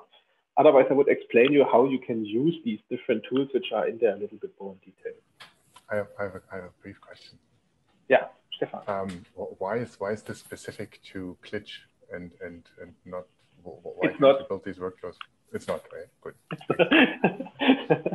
so I built it around CLIJ. So there is a reason for that. I built it around CLIJ because um, if you want to do this with 3D stacks, you have to use GPU accelerated operations. Otherwise, you can still tune parameters, but you would sit there and wait for some time until you see the result. Nevertheless, it's not limited to CLIJ. You have also other libraries in there. We'll show you on, in a couple of slides. Um, because there's also other libraries which have super fast algorithms, right? Um, but before we come to that point, just a little explanation of how this user face is supposed to work. And I'm explaining it in this way because, um, as you've seen earlier, this is under development. Yeah? If you have a cool idea of how to structure categories of operations differently, I would be happy to hear that, and I would be happy to incorporate your idea. Um, so what you see now, that's how we developed it so far, is you see here different categories of operations which are sorted a bit in the in the order of how you are supposed to do them. How we in image analysis courses teach people how to do things. One of the early steps in image processing you do is denoising. You should apply denoising first, then you do background subtraction. Afterwards, um, you do binarization, thresholding, then you label. Um, and if you have a labeled image in front of you, then you may even do different stuff. So for example, you see here on the right side, there's label processing and label measurements. Of course, you can to such an image, you cannot apply label measurements because there are no labels yet, right? So these categories change depending on which operation you are applying to, and you should always basically, if you set up a workflow, you should go from the top to the bottom. This is how it's thought. And again, if you have a cool idea of how to structure it even more in detail or even more precisely to specific biological questions or different image data, um, I'm happy to discuss ideas um, because that's that's tricky. That's um, it's not simple to set up the right category for all kinds of image analysis, right? Um, furthermore, you find suggestions. So there is a, a, menu which suggests you next steps. And this is a so-called expert system. So expert system is a, is a, kind of um, artificial intelligence um, algorithms which was invented in the 1970s. So after 50 years, we finally, we eventually have it in ImageJ. And so I extracted from uh, two experts, actually, I extracted some expert knowledge um, by reading in uh, 100 ImageJ macros and analyzing what these experts typically do in, in which order. So for example, after you applied a Gaussian blur, often people do something like threshold Otsu. That's why it shows up here in this suggestions menu. And after threshold Otsu, what people often do is some binary operations and connected components labeling. Yeah. Um, and in order to make this database better, so it's now two experts. It's uh, Bram van den Broek from the uh, Netherlands Cancer Institute in Amsterdam and myself. And in order to make this database better, we need more expert knowledge from more people. So there's an exercise later about that, and I would like you to ask uh, I would like to ask you to do this exercise in about a year. After you wrote some ImageJ macros or maybe also other scripts, please let these macros be parsed by our usage analysis tool and send us the result. Then we can incorporate your expert knowledge into the database here behind, and then the suggestions may become much better. So now it's just two experts telling you or giving you suggestions of what you can do through this abstract interface and I would expect if we have input from something like 50 experts from different research fields doing different stuff with their images, it might become even better. this comes back to the question Stefan asked. If you install the extension, um, you get also um, more menu entries into this menu. Um, this has it has basically two reasons. Um, there is a couple of algorithms like watershed algorithms, skeletonization, connected components labeling, they are not so super well suited for GPUs. It depends a bit on the context what you do, um, but there are scenarios where these algorithms perform much better on a CPU. And for example, if you look into uh, if you look in libraries like imglib2, like BoneJ, MorphoLibJ, the ImageJ 3D Suite, SimpleITK, um, ImageJ1 and ImageJ2, Um, a lot of software engineers over many years engineered many of these operations very well on the CPU so that they are super fast. And you may want to combine them um, with GPU accelerated image processing in the right scenario. So this is kind of the, the, one major reason. And the other reason is some kind of academic interest on my side. See here in this menu, we have um, connected components labeling um, from SimpleITK, from BoneJ, from CLIJ2, from MorphoLibJ, and from imglib2. It's the same algorithm in five, six different implementations. And depending on what with which kind of data you work, do you work with nuclei, little roundish objects, which are always little and roundish, or are you working with neurons, which are spread over a large volume um, and, and, and have a wide spread, right? If you do connected components labeling, these algorithms may perform differently. So in the one scenario, the one may be faster than the other, and in the other scenario, it might be the other way around. Um, and I don't have a complete picture of it yet. So and that's why I have all these things here, so that in some projects we can try these things out. And that's what I would also recommend to you. If you realize that skeletonization is super slow, or for example, binary fill holes, we just had a discussion about it on the forum, is super slow on a GPU, then try out the implementation from SimpleITK, and you will you may observe that this one is faster on this particular scenario. So there's a lot of more stuff. And if you know an algorithm which should definitely also be in this list, um, let me know. Get in touch and we can extend the list even further. No problem. Um, this is, by the way, CLIJ Fiji plugin. So not much more complicated than making Fiji plugins. so the menu is full of stuff and not all operations show up in the menu because not all operations are classified yet, and also not all operations fit to all the classes in any situation. So you find all operations under all circumstances always with the Fiji search bar. So you can, for example, enter convolve there, and then you will find here on the left side in a separate category um, all the operations which are compatible with this uh, graph builder, uh, we call it um, assistant um, tool. So here you always find all operations window. So, um, and uh, especially for people who use this for the very first time, um, I will um, tell that while this rather long video is playing, I can also answer questions while this video is playing, so just enjoy the show. Don't let the windows rule your desktop. Um, rule the windows. So um, move the windows around. You can actually do that by clicking inside the window. You don't have to click on the bar on top anymore. Um, because as I mentioned earlier, this thing is compatible and was partly written for big touchscreens um, mounted at walls. So you can basically move the windows around um, by clicking into them. And, and you should do so because if you set up a complex workflow with many operations, if these windows overlap all in the same place, you will be as lost as you were with normal ImageJ.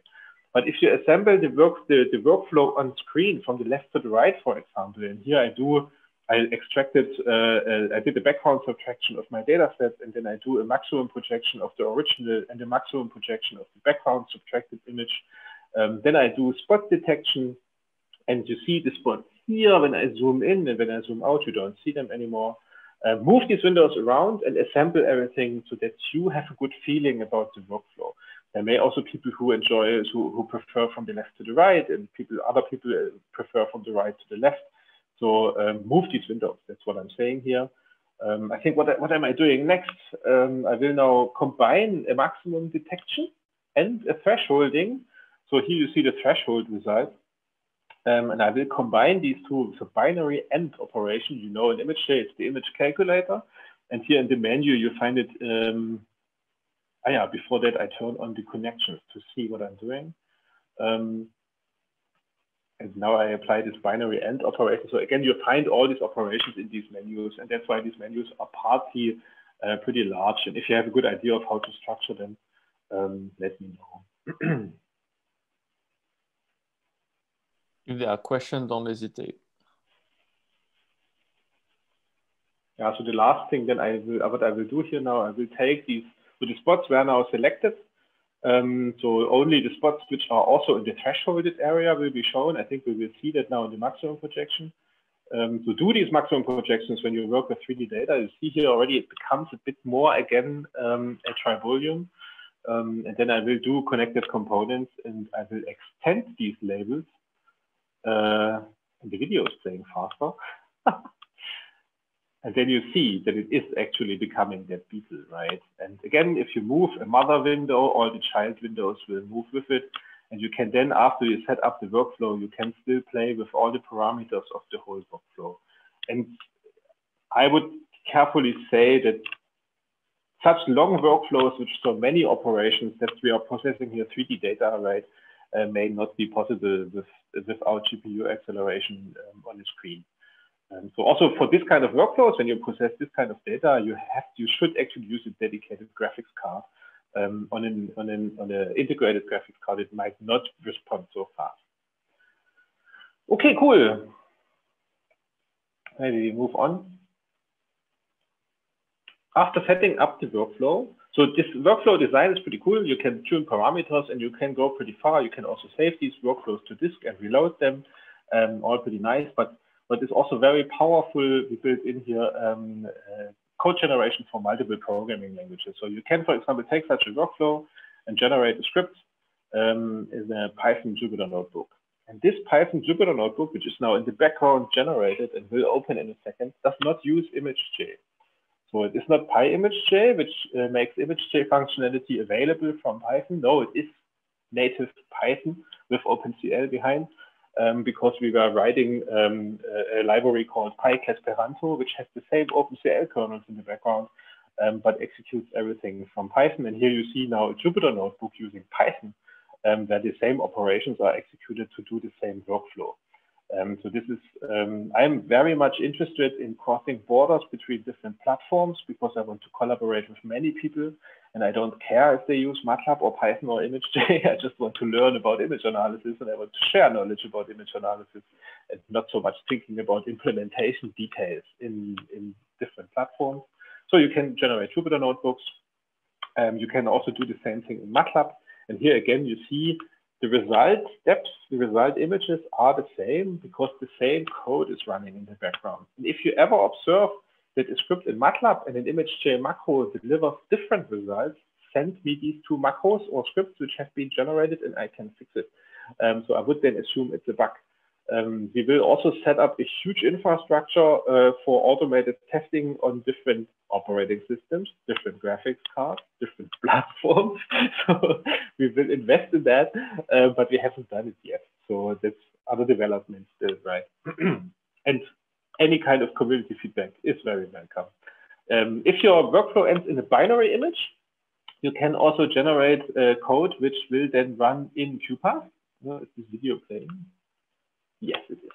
Um, because in QuPath, we implemented that in a way that we do not generate a new image from an old image. We rather generate ROIs, regions of interest.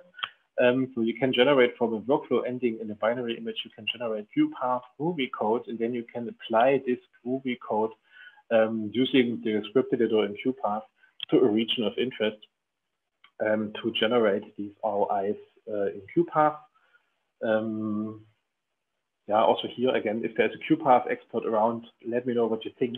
I'm a Fiji guy, and I'm slowly becoming a Python person. um, and that's also pretty neat, especially for, for those of you who haven't tried Python in very detail yet. So there's a huge user community of ImageJ macro, right? And many of the people want to try Python, but haven't tried yet or didn't figure out. Um, this might be helpful. You can take such a workflow like shown on the left and generate ImageJ macro code and you can generate from the same workflow also Python code and look at it side by side and compare how these different commands work in a different environment. So that might be helpful also for academic reasons, let's say. Um, some of the operations in our uh, Clesperanto universe are not compatible to all the environments yet. We are working on this and I'm thinking that we will not manage all of them in all circumstances on all platforms.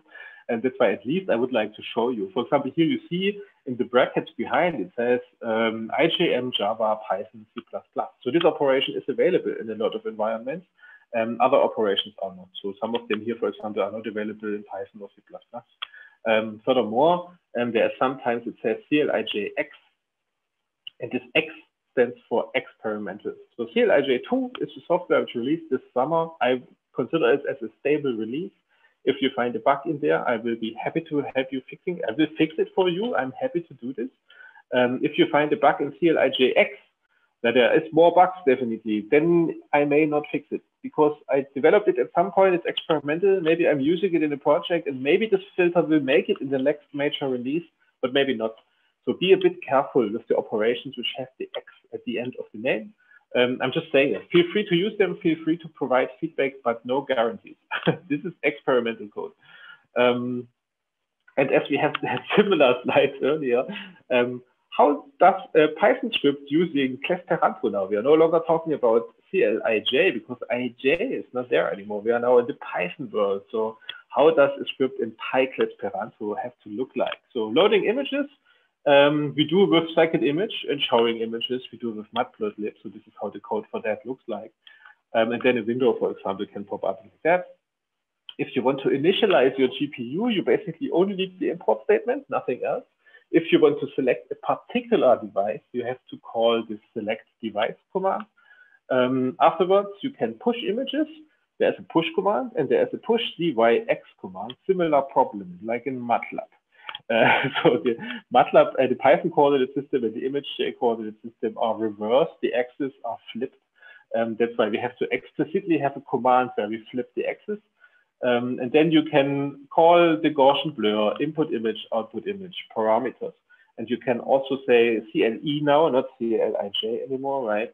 Um, create an image like the other image. So we are improving a bit the API. It's becoming a little bit different like in CLIJ because we also want to move ahead, right? We are learning along the way. And so that's why we are changing commands a little bit. The old create command still exists here, but with create like, you can be more explicit and say, I want to create an image like another image.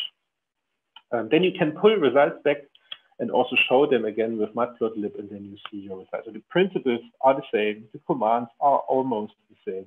So it's basically the same procedure, just in a different programming environment. And uh, at the moment, it looks like that you don't have to clean up anymore because we are using a library which is called PyOpenCL, um, which manages that for us. I have seen cases where it doesn't work.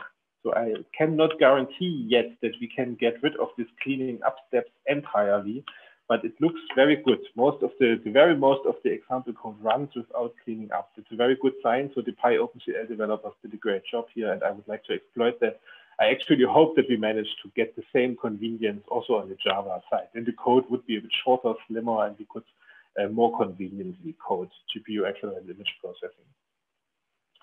Um, that brings us to Napari. So Napari is a three-dimensional image viewer for the Python universe.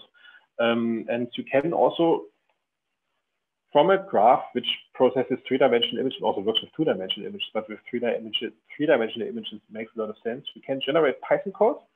Um, you can also edit it in Fiji. It's not, I would not recommend that, but you can. Um, and you can select a scripting language Teoki. Teoki is a village on an island between Napari and Fiji. I'm sorry. I so it executes Python, yeah. So it's just executing Python code, and I could not name it Python because Python exists already in ImageJ. So I had to find a new name. So okay, is it?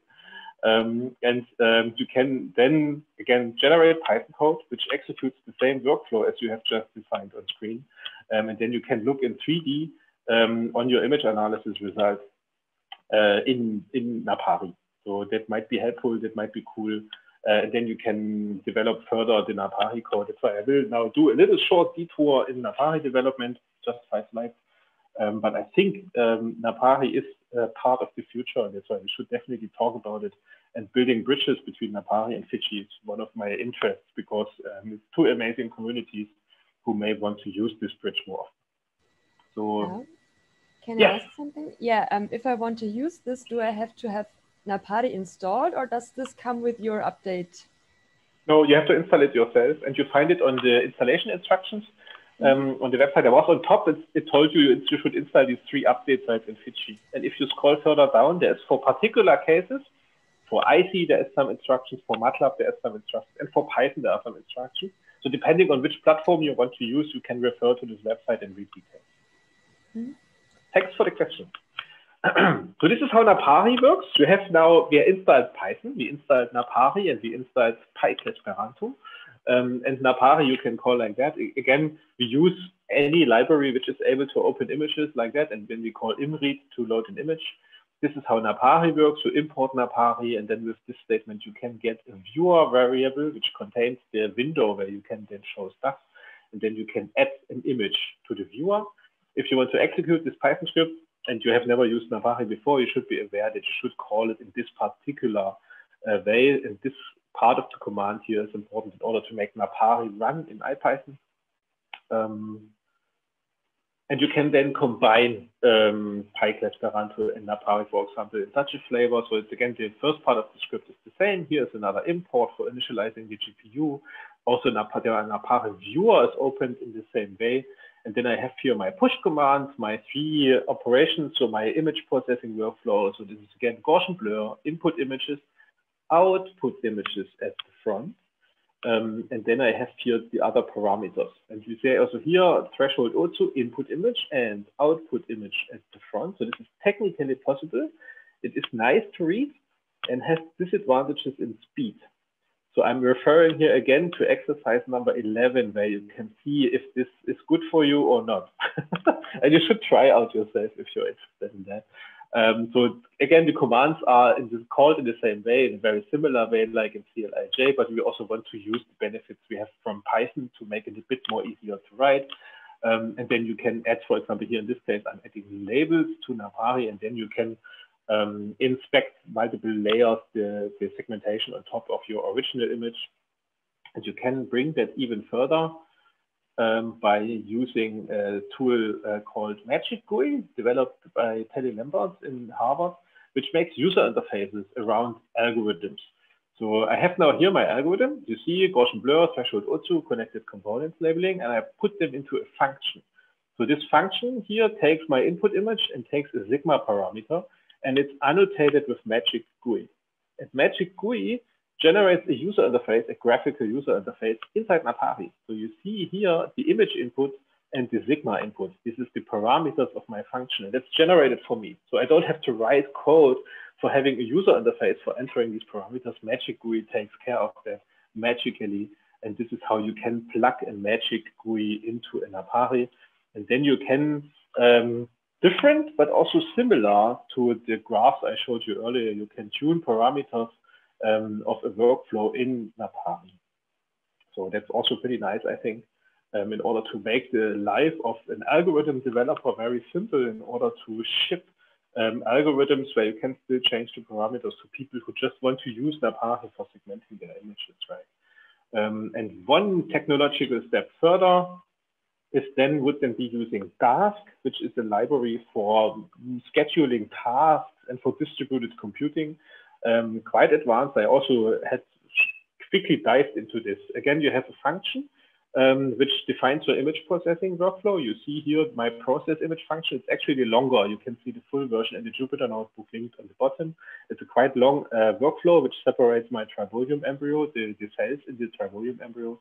Um, and then I define basically a Dask delayed array which contains this function. So at the end, this ends up as an array, as a vector of images which have not been computed yet. These images will be computed in the moment um, when I want to see them. And this allows me to process time-lapse data inside Napari. So I can basically click here on any time point, and when I click on the time point, then the segmentation is generated.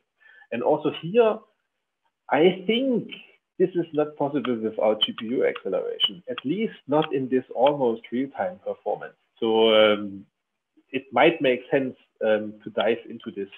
Um, so this is a 3D data set, 150 megabytes or something like that. And doing this connected components and stuff is quite tricky. Um, and I'm happy that I can use your task to distribute these, uh, not to distribute, to delay these tasks when I, when I actually need to process it.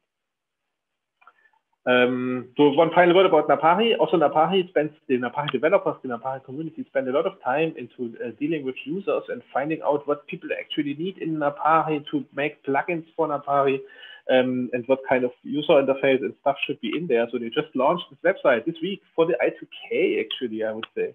Um, they launched this website where you can get in touch with them.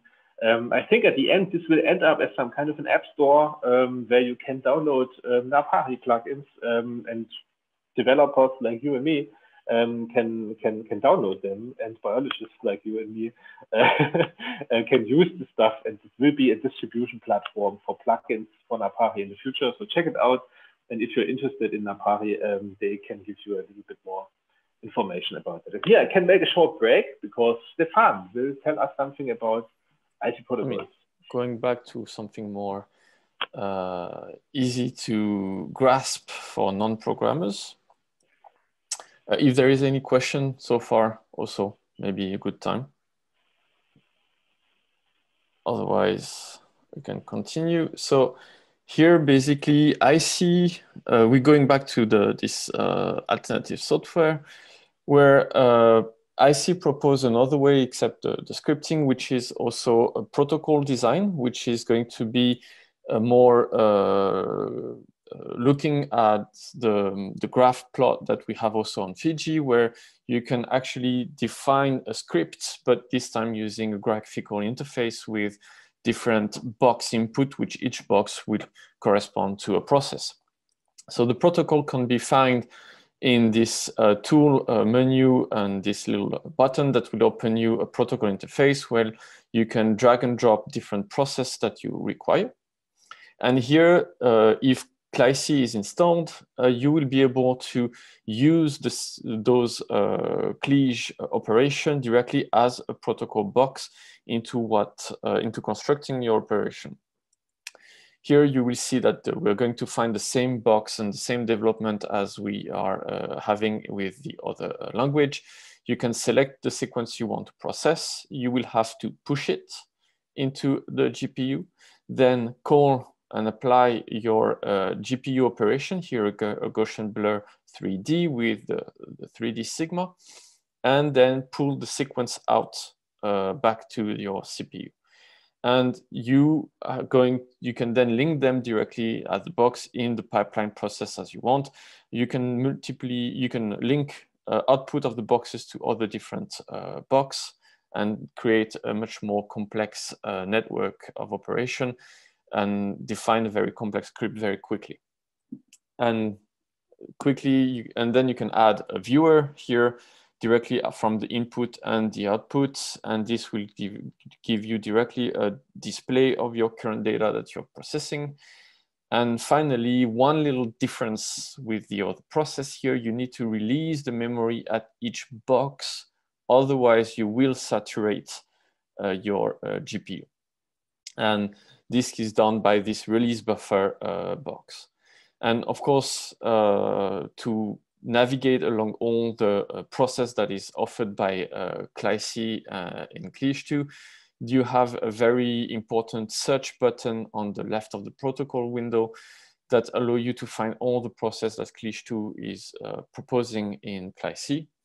And uh, you can use uh, start by typing clear and you will have all the CLIJ 2 process that exactly what Robert advised you not to do in Fiji so you can also directly say, I want absolute or um, Gaussian blur, and you will have all the Gaussian blur available for you, uh, both for CLIJ2 and also in a Fiji plugin uh, available. The, the, the, the other part that you can do is also define your own process through uh, the Fiji uh, interface and with the code generator if all the processes you define are available. See you can directly export it as a protocol and you will have directly uh, open Icy with the protocol pre-made where you can just drag and drop your image inside Icy to have it and then run your protocol. The only thing that you won't have is a very nice organization of your protocol window. So be careful of doing a little bit of cleaning there.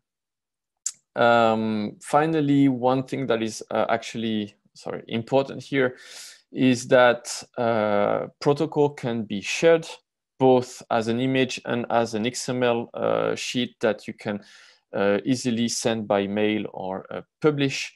They can be used as uh, code publishing for review and they can be uploaded on the website for other people to then download, reuse, or inspire yourself from in order to do more protocol, more complex uh, operation. You can find also script, and if you are a more uh, advanced uh, developer, plugins uh, for uh, Icy uh, in general. And they will come with an entire documentation if the person who uploaded is actually thorough with this work. and then uh, that's it for Icy. Robert? You're muted, you're muted, you're muted. Hello, thank you, Stefan. but after doing a little detour to, to MATLAB, uh, Python, Icy, and so on, let's return home. Um, let's return to Fiji um, and let's see the Fiji plugin generator. So I'm developing Fidschi plugins for something like five years now, and uh, likely I programmed hundreds of them. Um, so that's why I thought maybe that we can do that automatically. Um, if you start at a configured workflow, I will set up here a little workflow when the video is playing. Um, so I have here my example image, and I start the assistant again with this magic button. Then I apply, I think, a Gaussian blur to it. You see, I'm just going through the suggestions. I don't go through the categories um, because I often do Gaussian blur, and after Gaussian blur, I do threshold Otsu. um, and then you can still tune the parameters of the Gaussian blur. That's what I mentioned earlier. And then the, the Glitch logo looks a bit more cool. Um, and I think, okay, this is a workflow I would like to use more often. This is definitely something I will use every day. So I will generate a Fidschi plugin from this workflow on screen, which opens a window where I have to, where I should enter what the name of the plugin is. It's my first plugin. Um, I should describe a little bit what it's doing just for the documentation later on. I should also write my name there in case my plugin is found on the internet by somebody later on who has questions about that. And I can also put my GitHub or my Twitter account here. And then I click on OK, and it downloads in the background a template plugin, puts in generated code, like it generates code for MATLAB and Icy and whatever. And then it runs Maven to compile this plugin. So you have to install Maven and you have to do some additional steps. Again, you find that in the installation instructions. But it means after this step where you don't code at all, yeah, you didn't write any line of code, um, you restart Fidschi and you will find your new plugin in there. So I have to reopen the dataset. and then I can, I think in the search window, I can search for my first plugin. I can still change the parameters which were there in my old workflow and when I execute it, um, I get the same result out as earlier. The idea here is um, when you have long workflows and you realize these five steps I do in all projects over and over again and again, generate a Fidschi plugin from these five steps, and then you can use the Fidschi plugin as one step in your future workflows. It makes it possible to make workflows easier to overview, and you can also share these plugins with other people who have, of course, CLI inside. So, and Obviously, we did not code, so that was all possible without coding. Um, but nevertheless, we can have a look into the code because you specify the folder where this download will happen. Um, and it is basically an ImageJ plugin, an ImageJ2 plugin with some CLIJ stuff in there. So it will generate a class, a Java file. So you see it's from a different generation, but basically the same. Um, you see here, uh, if I find my own mouse, um, you see here that's the name of the plugin um, and uh, I specify some parameters down here. Then you find the code which actually executes the operation. So I did here in this case, make isotropic, input image, output image, other parameters, cylinder transform, input image, output image, other parameters, maximum projection, input image, output image. Same procedure, it's just Java this time. Um, then there is another file which is called plugins.config. ImageJ1 plugin developers may remember this one. This is the file where it's specified where your plugin will show up in the menu, so you can also change that if you like. Um, and there is a pom.xml file, um, which is the Maven project description, which explains uh, to the compiler how to make a plugin out of that. And uh, I, I, we can now go deeper into plugin development for Fiji or for CLIJ, but I think the time does not allow us. Uh, but if you want to dive into this, um, let us know in the image.sc forum. There's a bunch of people who know how to make Fiji plugins, and we are happy to point you to the right resources um, if you need any further information on that. And with that, we switch again back to Stefan, who wants to tell us something about CLIc.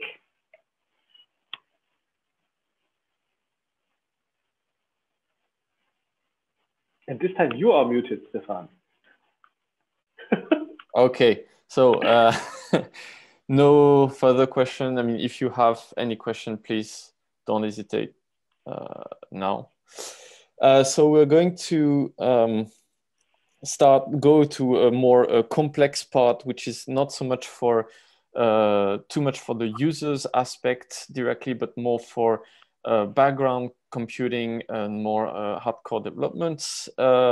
Uh, basically, something I've, that started in July, which is uh, working on the OpenCL image C++ API and called, so I very smartly CLIc. And the role here basically is to create both uh, a, a, scripting um, uh, option for C++, but also a backend to multiple language on which uh, Clesperanto is uh, running. So this is a, a, a, global project. Right now, it's not exactly this way. Uh, how it works is that you have at the very bottom hardware part uh, all your GPU and CPU communicating uh, the OpenCL with an actual C++ API. This is for all, uh, whatever they are, uh, Java, Python, or other language, all the OpenCL work through the C++, this C++ API that is uh, developed by uh, the OpenCL people. And instead of having then a Python one Python controlling this API backend and then is used for PyCL Esperanto, a Java one that is used for CL Esperanto Java, and another one for MATLAB or, uh, or etc. The goal here is to uh, having one C++ library uh, uh that will uh, control the OpenCL and the GPU communication and kernel management of CLIJ, and then having an end layer for the Python or for the Java or other Esperanto language over the C++ one, including one um, layer of C++ uh, scripting through a gateway of this API. And to be able to be used for both controlling perfectly the, the GPU and to be able to be used by both uh, hardcore users and more uh, simple users if they want to uh, uh, use C++ code for various reasons the way it's presented here is you have three main uh, object kernel abstracts that then all the, the classes inherit from. The kernel class, which have uh, each of them uh, oriented to one specific operation in CLIJ. So of course, so you find back the more classic operation, mean, maximum, Gaussian. You have the object class, which is a very generic object that will manipulate all the GPU uh, object that you're pushing uh, both from uh, what we call a buffer version, so it's an array, but it can be an image, or the very specific image type in OpenCL, or also simple scalar, which are going to be the parameter of your kernels. And finally, a manager class, which is going to uh, manage all the uh, different operation that is required for your GPU to understand what you're asking from him. And over this, you will have this uh, CLI, which is going to be a gateway class, uh, which allow then to go back to the same structure code that we found in all the CLIJ and Clesperanto structure uh, for user and easy development and quick uh, deployment of C++ scripts of uh, this Clesperanto. So the way it's presented is you have at the end a three layer. The bottom layer here is a very abstract kernel and it's a very generic way of dealing with GPU kernel. And it's uh, process each CLIJ uh, kernels the same way uh, in a very automated way. And this is basically the back back-end of the API. And it allows um, it, it allows a very generic way to process all the kernel in, in, a, in an automation way. And on the upper layer, you have a more specialized uh, classes layer, which here you're going to create, or you can create if you want to participate, new um, kernel operation, which are going to be really adapted to uh, the uh, kernel you're trying to develop with a specific input set that are uh, name uh, specific to the parameter you want to use in order that users can easily understand it and easily use it from your class trying to respect, of course, the same nomenclature so that everything is uh, easy to, to get. And finally, this gateway structure that allow you to always have the same calling as uh, the moment you are trying to apply your, your process, which is going to be always this CLI um, button that will uh, hold all the uh, kernel operation, the name of your operation, input, output, and parameter things. In the code at the end is actually quite fairly simple, even, even if it's C++ the header, you will have the name of the kernel and the set of the parameter you're accessing. And then in the source code, when you're developing a kernel, you're going to have a very particular class, a particular method called execute. And this is basically where you do all the hard code operation that you want to uh, made before sending your data to the kernel or in between two kernel if you're using mini pipeline of kernel. So if you want to build, let's say, a difference of Gaussian, this is where this is in the execute that you're going to take your input, run the two Gaussian blur, and apply a difference uh, operation, all the three kernels, and then send it back to the output. And you can build up layers of kernel this way. And so when you build up, when you finally at the end, you can then initialize your GPU. Right now, there is no more option to actually specify which option, which GPU you want or which device. It will take the first one, but those are functionality that are uh, in, in, future development. And then you find again all the same uh, process that in uh, the PyEsperanto or the CLIJ, you push your data uh, using the CLI push uh, option. Uh, you will get back a buffer. You can set up your, create your output space buffer in your GPU run your operation with input, output, and your parameter, and then you can pull back your uh, GPU array into a CPU uh, structure that you can then manipulate as you wish. And uh, here you can either trust your uh, auto-completion, if uh, which work quite well uh, in uh, C++, or you can also, if it's uh, compatible, um, if you use compatible operation, use the CLIJ assistance to generate your script and directly paste it into a, a template projects for uh, C++ that you can find uh, on, on my repository so far, but it will be pushed at the, in on the Clesperanto project part. And also you can find the full um, uh, example of uh, test that will give you how to use different operations that are being developed right now on the CLIc uh, API and will show you how to run them uh, in the test. You can also download the, the uh, API directly also and try to compile it yourself or use the release one, which is fresh and not necessarily very stable, but please give a try.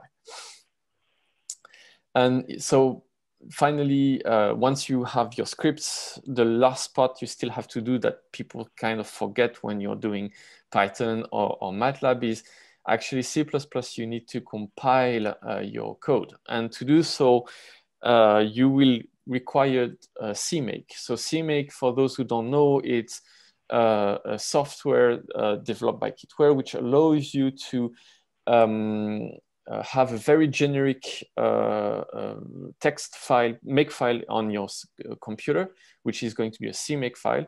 And when it's read by CMake, CMake will do all the association of the library specific to your computer. And you will be able to associate uh, to uh, find the actual library that you require in your computer automatically if they are in your path, or you will be able to modify your variable directly on CMake to specify exactly where are the library you want to use.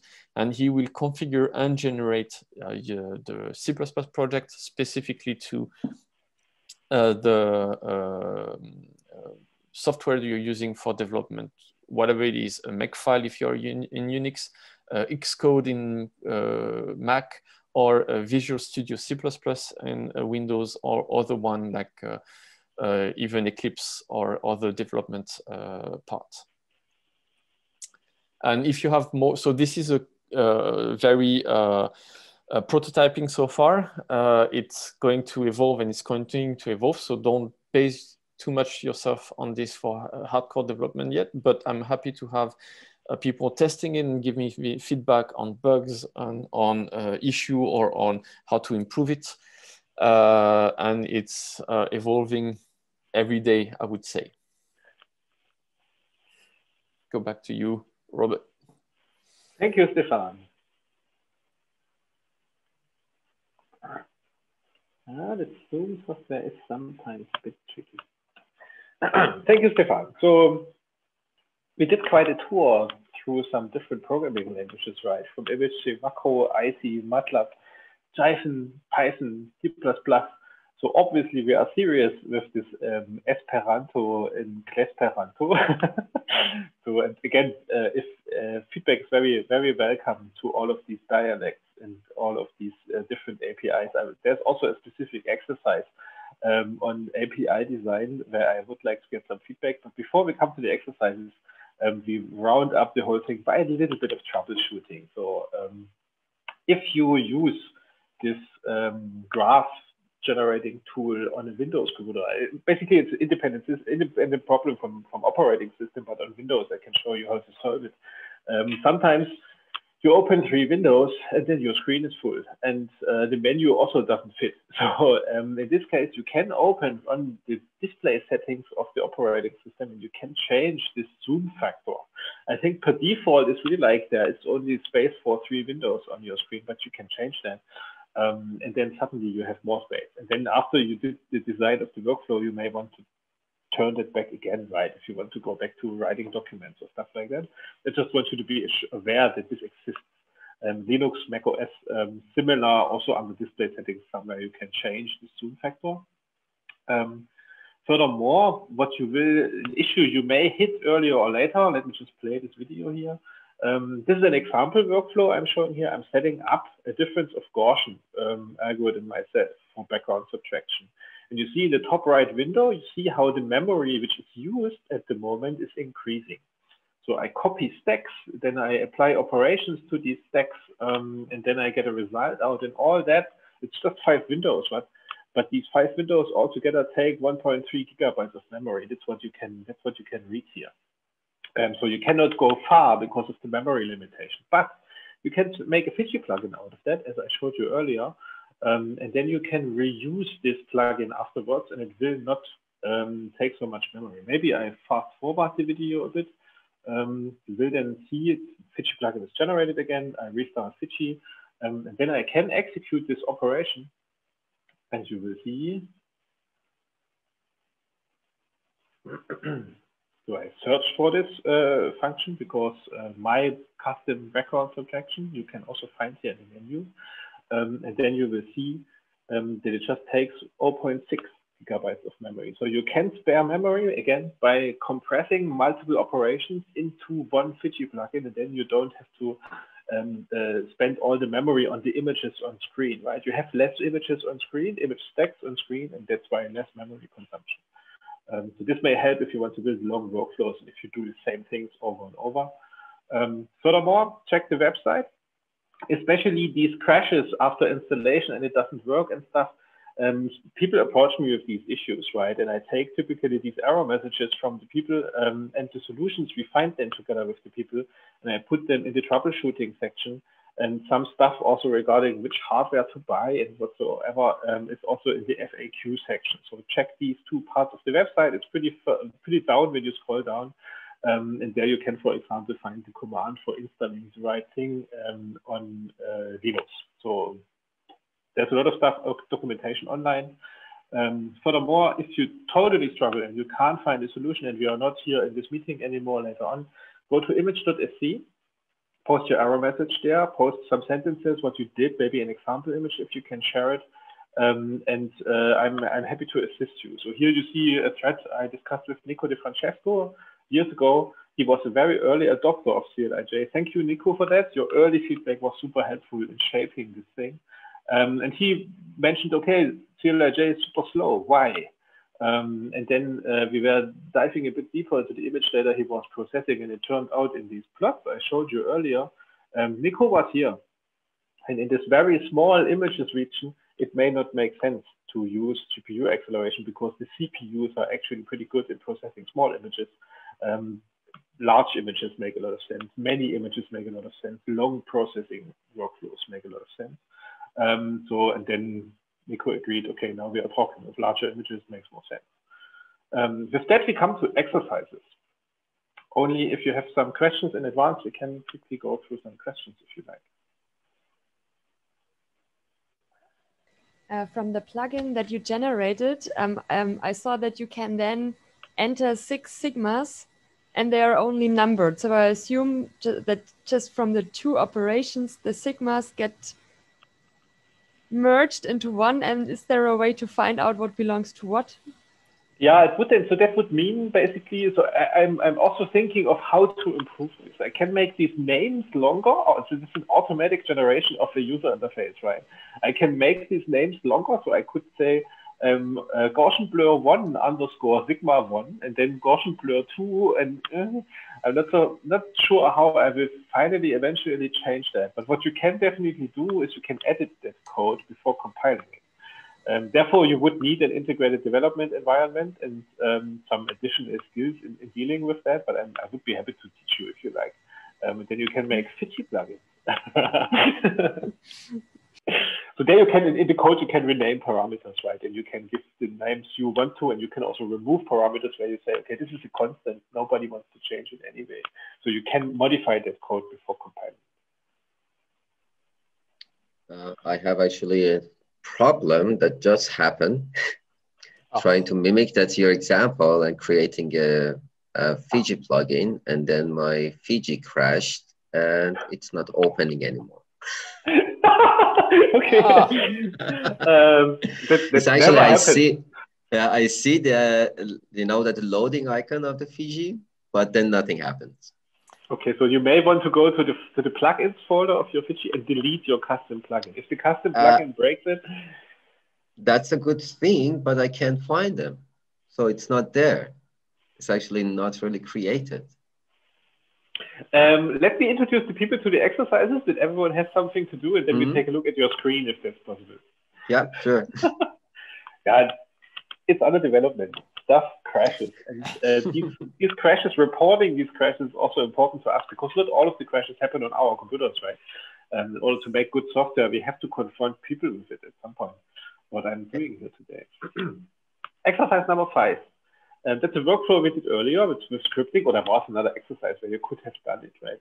Um, so design this workflow on screen or a similar workflow. It's basically about um, uh, counting blobs in the blobs.gif um, and using connected components, any kind of thresholding as you wish, and then export the script to the technology you like most. Use Icy, use QuPath, whatever you like. Um, then uh, is really a nice game. Uh, use deconvolution and image segmentation in one workflow and play with the point spread function. So I always wanted to do this. And thanks to Brian Northan, who was programming this um, GPU accelerated um, deconvolution, I can now play with these parameters in one workflow um, on screen. It's, it's, fun. So try it out. then furthermore, what is sometimes tricky when you set up workflows on screen is having um, the original image and the resulting segmentation, for example, in one image so that you can really see if the nuclei were nicely separated. And here's one way of doing it. You basically generate this Voronoi diagram of the of the cells, so basically the edges between labels. Um, and then you do a maximum or this is sum of images would also work of the original image and the mesh image, and then you show these two together. Um, so this would be a potential exercise. Again, we have I think we have an hour or so left, um, but uh, you you cannot do all the exercises, right? Pick one you are interested in. Um, here, Napari and magicgui, um, process the blobs.gif image um, and uh, generate code for Napari and um, execute Napari. You can also install Python at the same time and, and, check if this is all working if you don't have it yet. Um, we are also happy to troubleshoot these things. Um, also have time for that. Um, same with 3D. The Tribolium dataset image processing exists in multiple programming languages in tutorials and example scripts on the CLIJ website um, and also on the Python Esperanto website. to do a bit cherry picking of code or generate the code um, and try to um, do a 3D segmentation of the cells in the Tribolium embryo in Napari. Um, that might be fun. Then I have here a very nice dataset from Teresa Um, and before you will then later develop a workflow for counting cells um, in these different channels, maybe Teresa wants to tell us why it makes sense to count cells in these different channels in different regions. And what, what are we looking at here? Uh, we're looking at mouse brain and um, we irradiated it, but only a part. And we wanted to find out which part did we actually irradiate. So we stained uh, cells and cells with DNA damage and uh, the problem was that the images were too big to do a real colocalization. Um, yeah, which is why Robert did some magic and um, yeah. So uh, we detected in two channels the cells and found out where the beam was. Yes. So counting cells and then basically measuring a ratio of how many cells are double positive and how many cells are single positive gives us some hints about DNA damage. Um, you can do it, of course, on the CPU, um, and you can also do it on GPU. And if you want to, for example, that's a classical case for QuPath, I would say. Um, if you want to convert a script generated in Fiji to QuPath, um, you have to change some lines of code to actually make it work.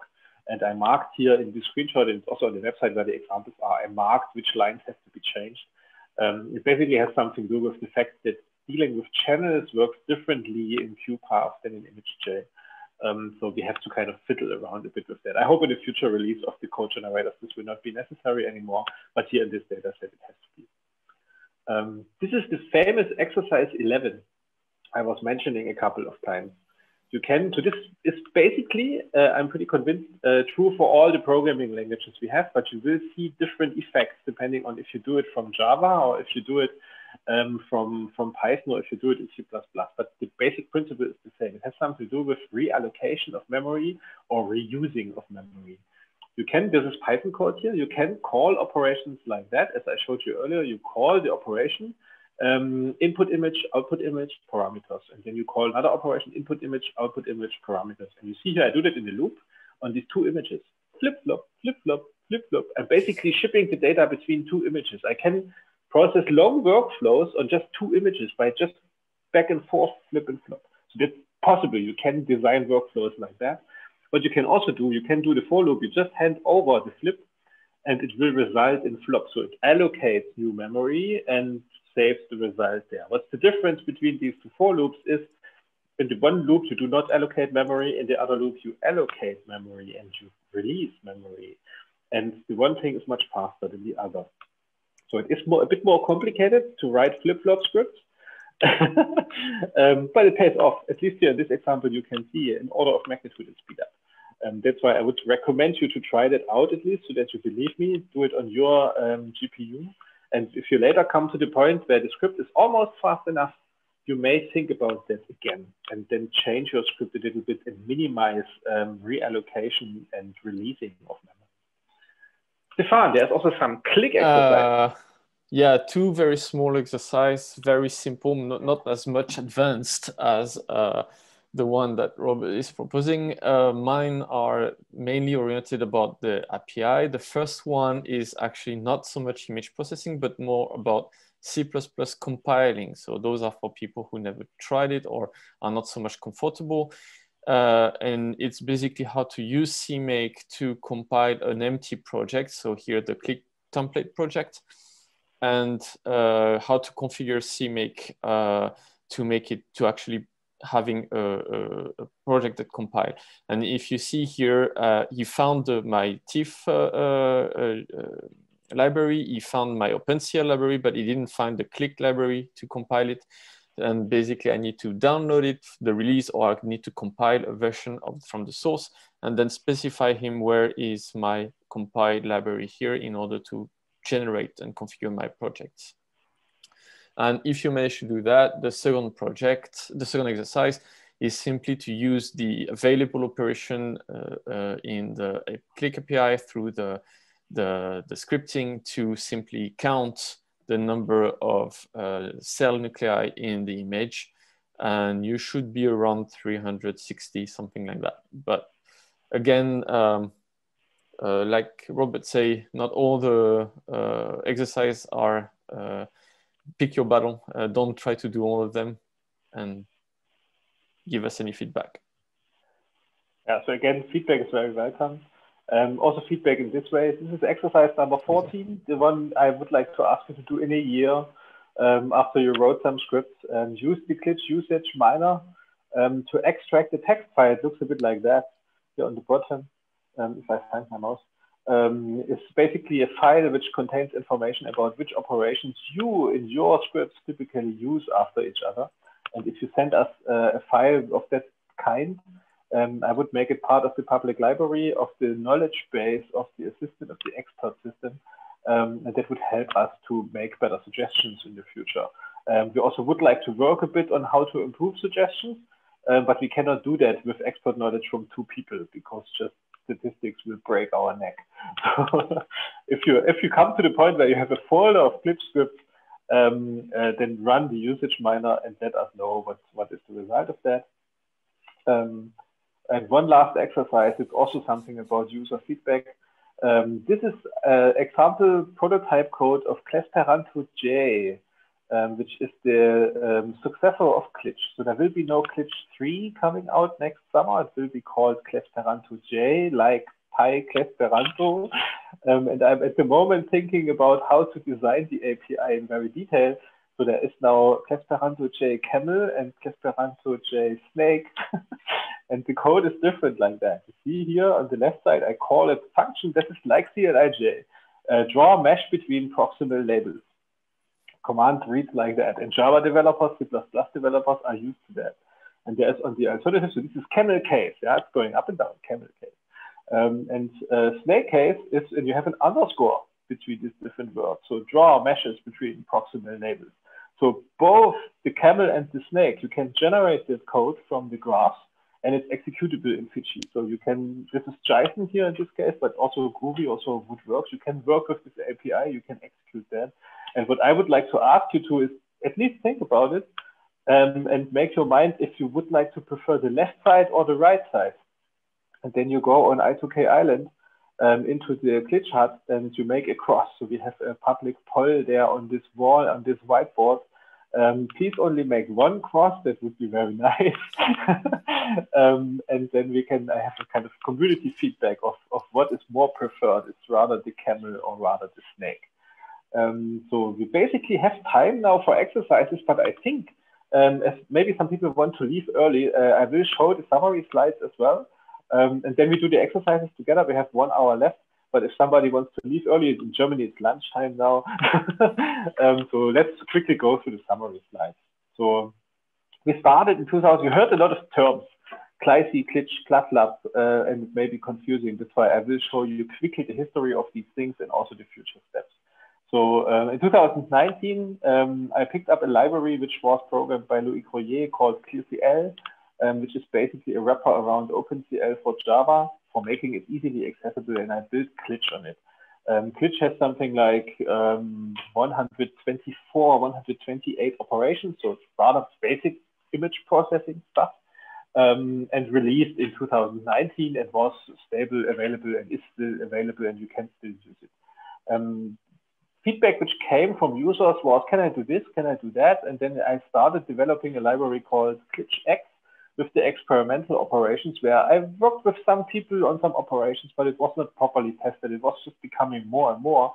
And at some point, we put the good operations from Glitch X and from CLIJ together, and we made Glitch 2. And on top of it, we built clIcy CLATLAB and Glitch 2 ImageJ. So you can download a single jar file, put it in your ImageJ1, and execute uh, CLIJ operations from there. So it's not bound to Fiji, let's say. Um, and then again, the same thing happened. I had developed some experimental stuff, so CLIJx Vector, CLIJx, CLATLAB X, and uh, clijpy and CLUPATH, and it's becoming a bit messy. so, and the idea is then in the future to clean that up again, and um, that will also next year uh, CLIJ, uh, the original CLIJ will deprecate is deprecated and will not be supported anymore. You can still use it, but I may not help you anymore. I have to move ahead, right? Um, so that's why we started now developing CLIc and PyClesperanto, and I'm optimistic that PyClesperanto will release in summer, will be um, stable, available. CLIc, we are not sure yet. We will see, Stefan. Um, and then in the future, even we will we will likely build future PyClesperantos and future Esperanto J's on top of CLIc. So this is a bit the, the idea of, of the future development. We will clean up this mess here in the top right corner and we'll make one thing out of it um, that you basically you call then Clesperanto from MATLAB and from IT and from from from from ImageJ. Um, but it will not be this separate eight projects. It will be one big project, which will be a bit better structured, a bit better organized. Um, it will have a new name. And because I think all this has not so much to do with ImageJ anymore. ImageJ is just one big player in this whole game. Um, if you use it, please cite it. This is the original pitch paper. Um, then I wrote together with Dani a preprint, which will likely come out next week or the week after as part of a NEUBIAS book um, uh, with a detailed explanation of how to translate your image J macro into a GPU accelerated macro. Um, also explaining a bit the core concepts again, but in a book style, so you can read it on your couch. Um, and the interactive user interface I showed you today also has a preprint, came out two weeks ago.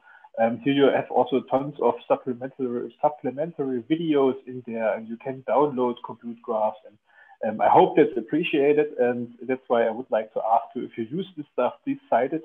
Um, I would like to apply for grants, and that's quite important that the software is used and that we can prove that to funding agencies. Um, so please cite it. Thank you very much for that.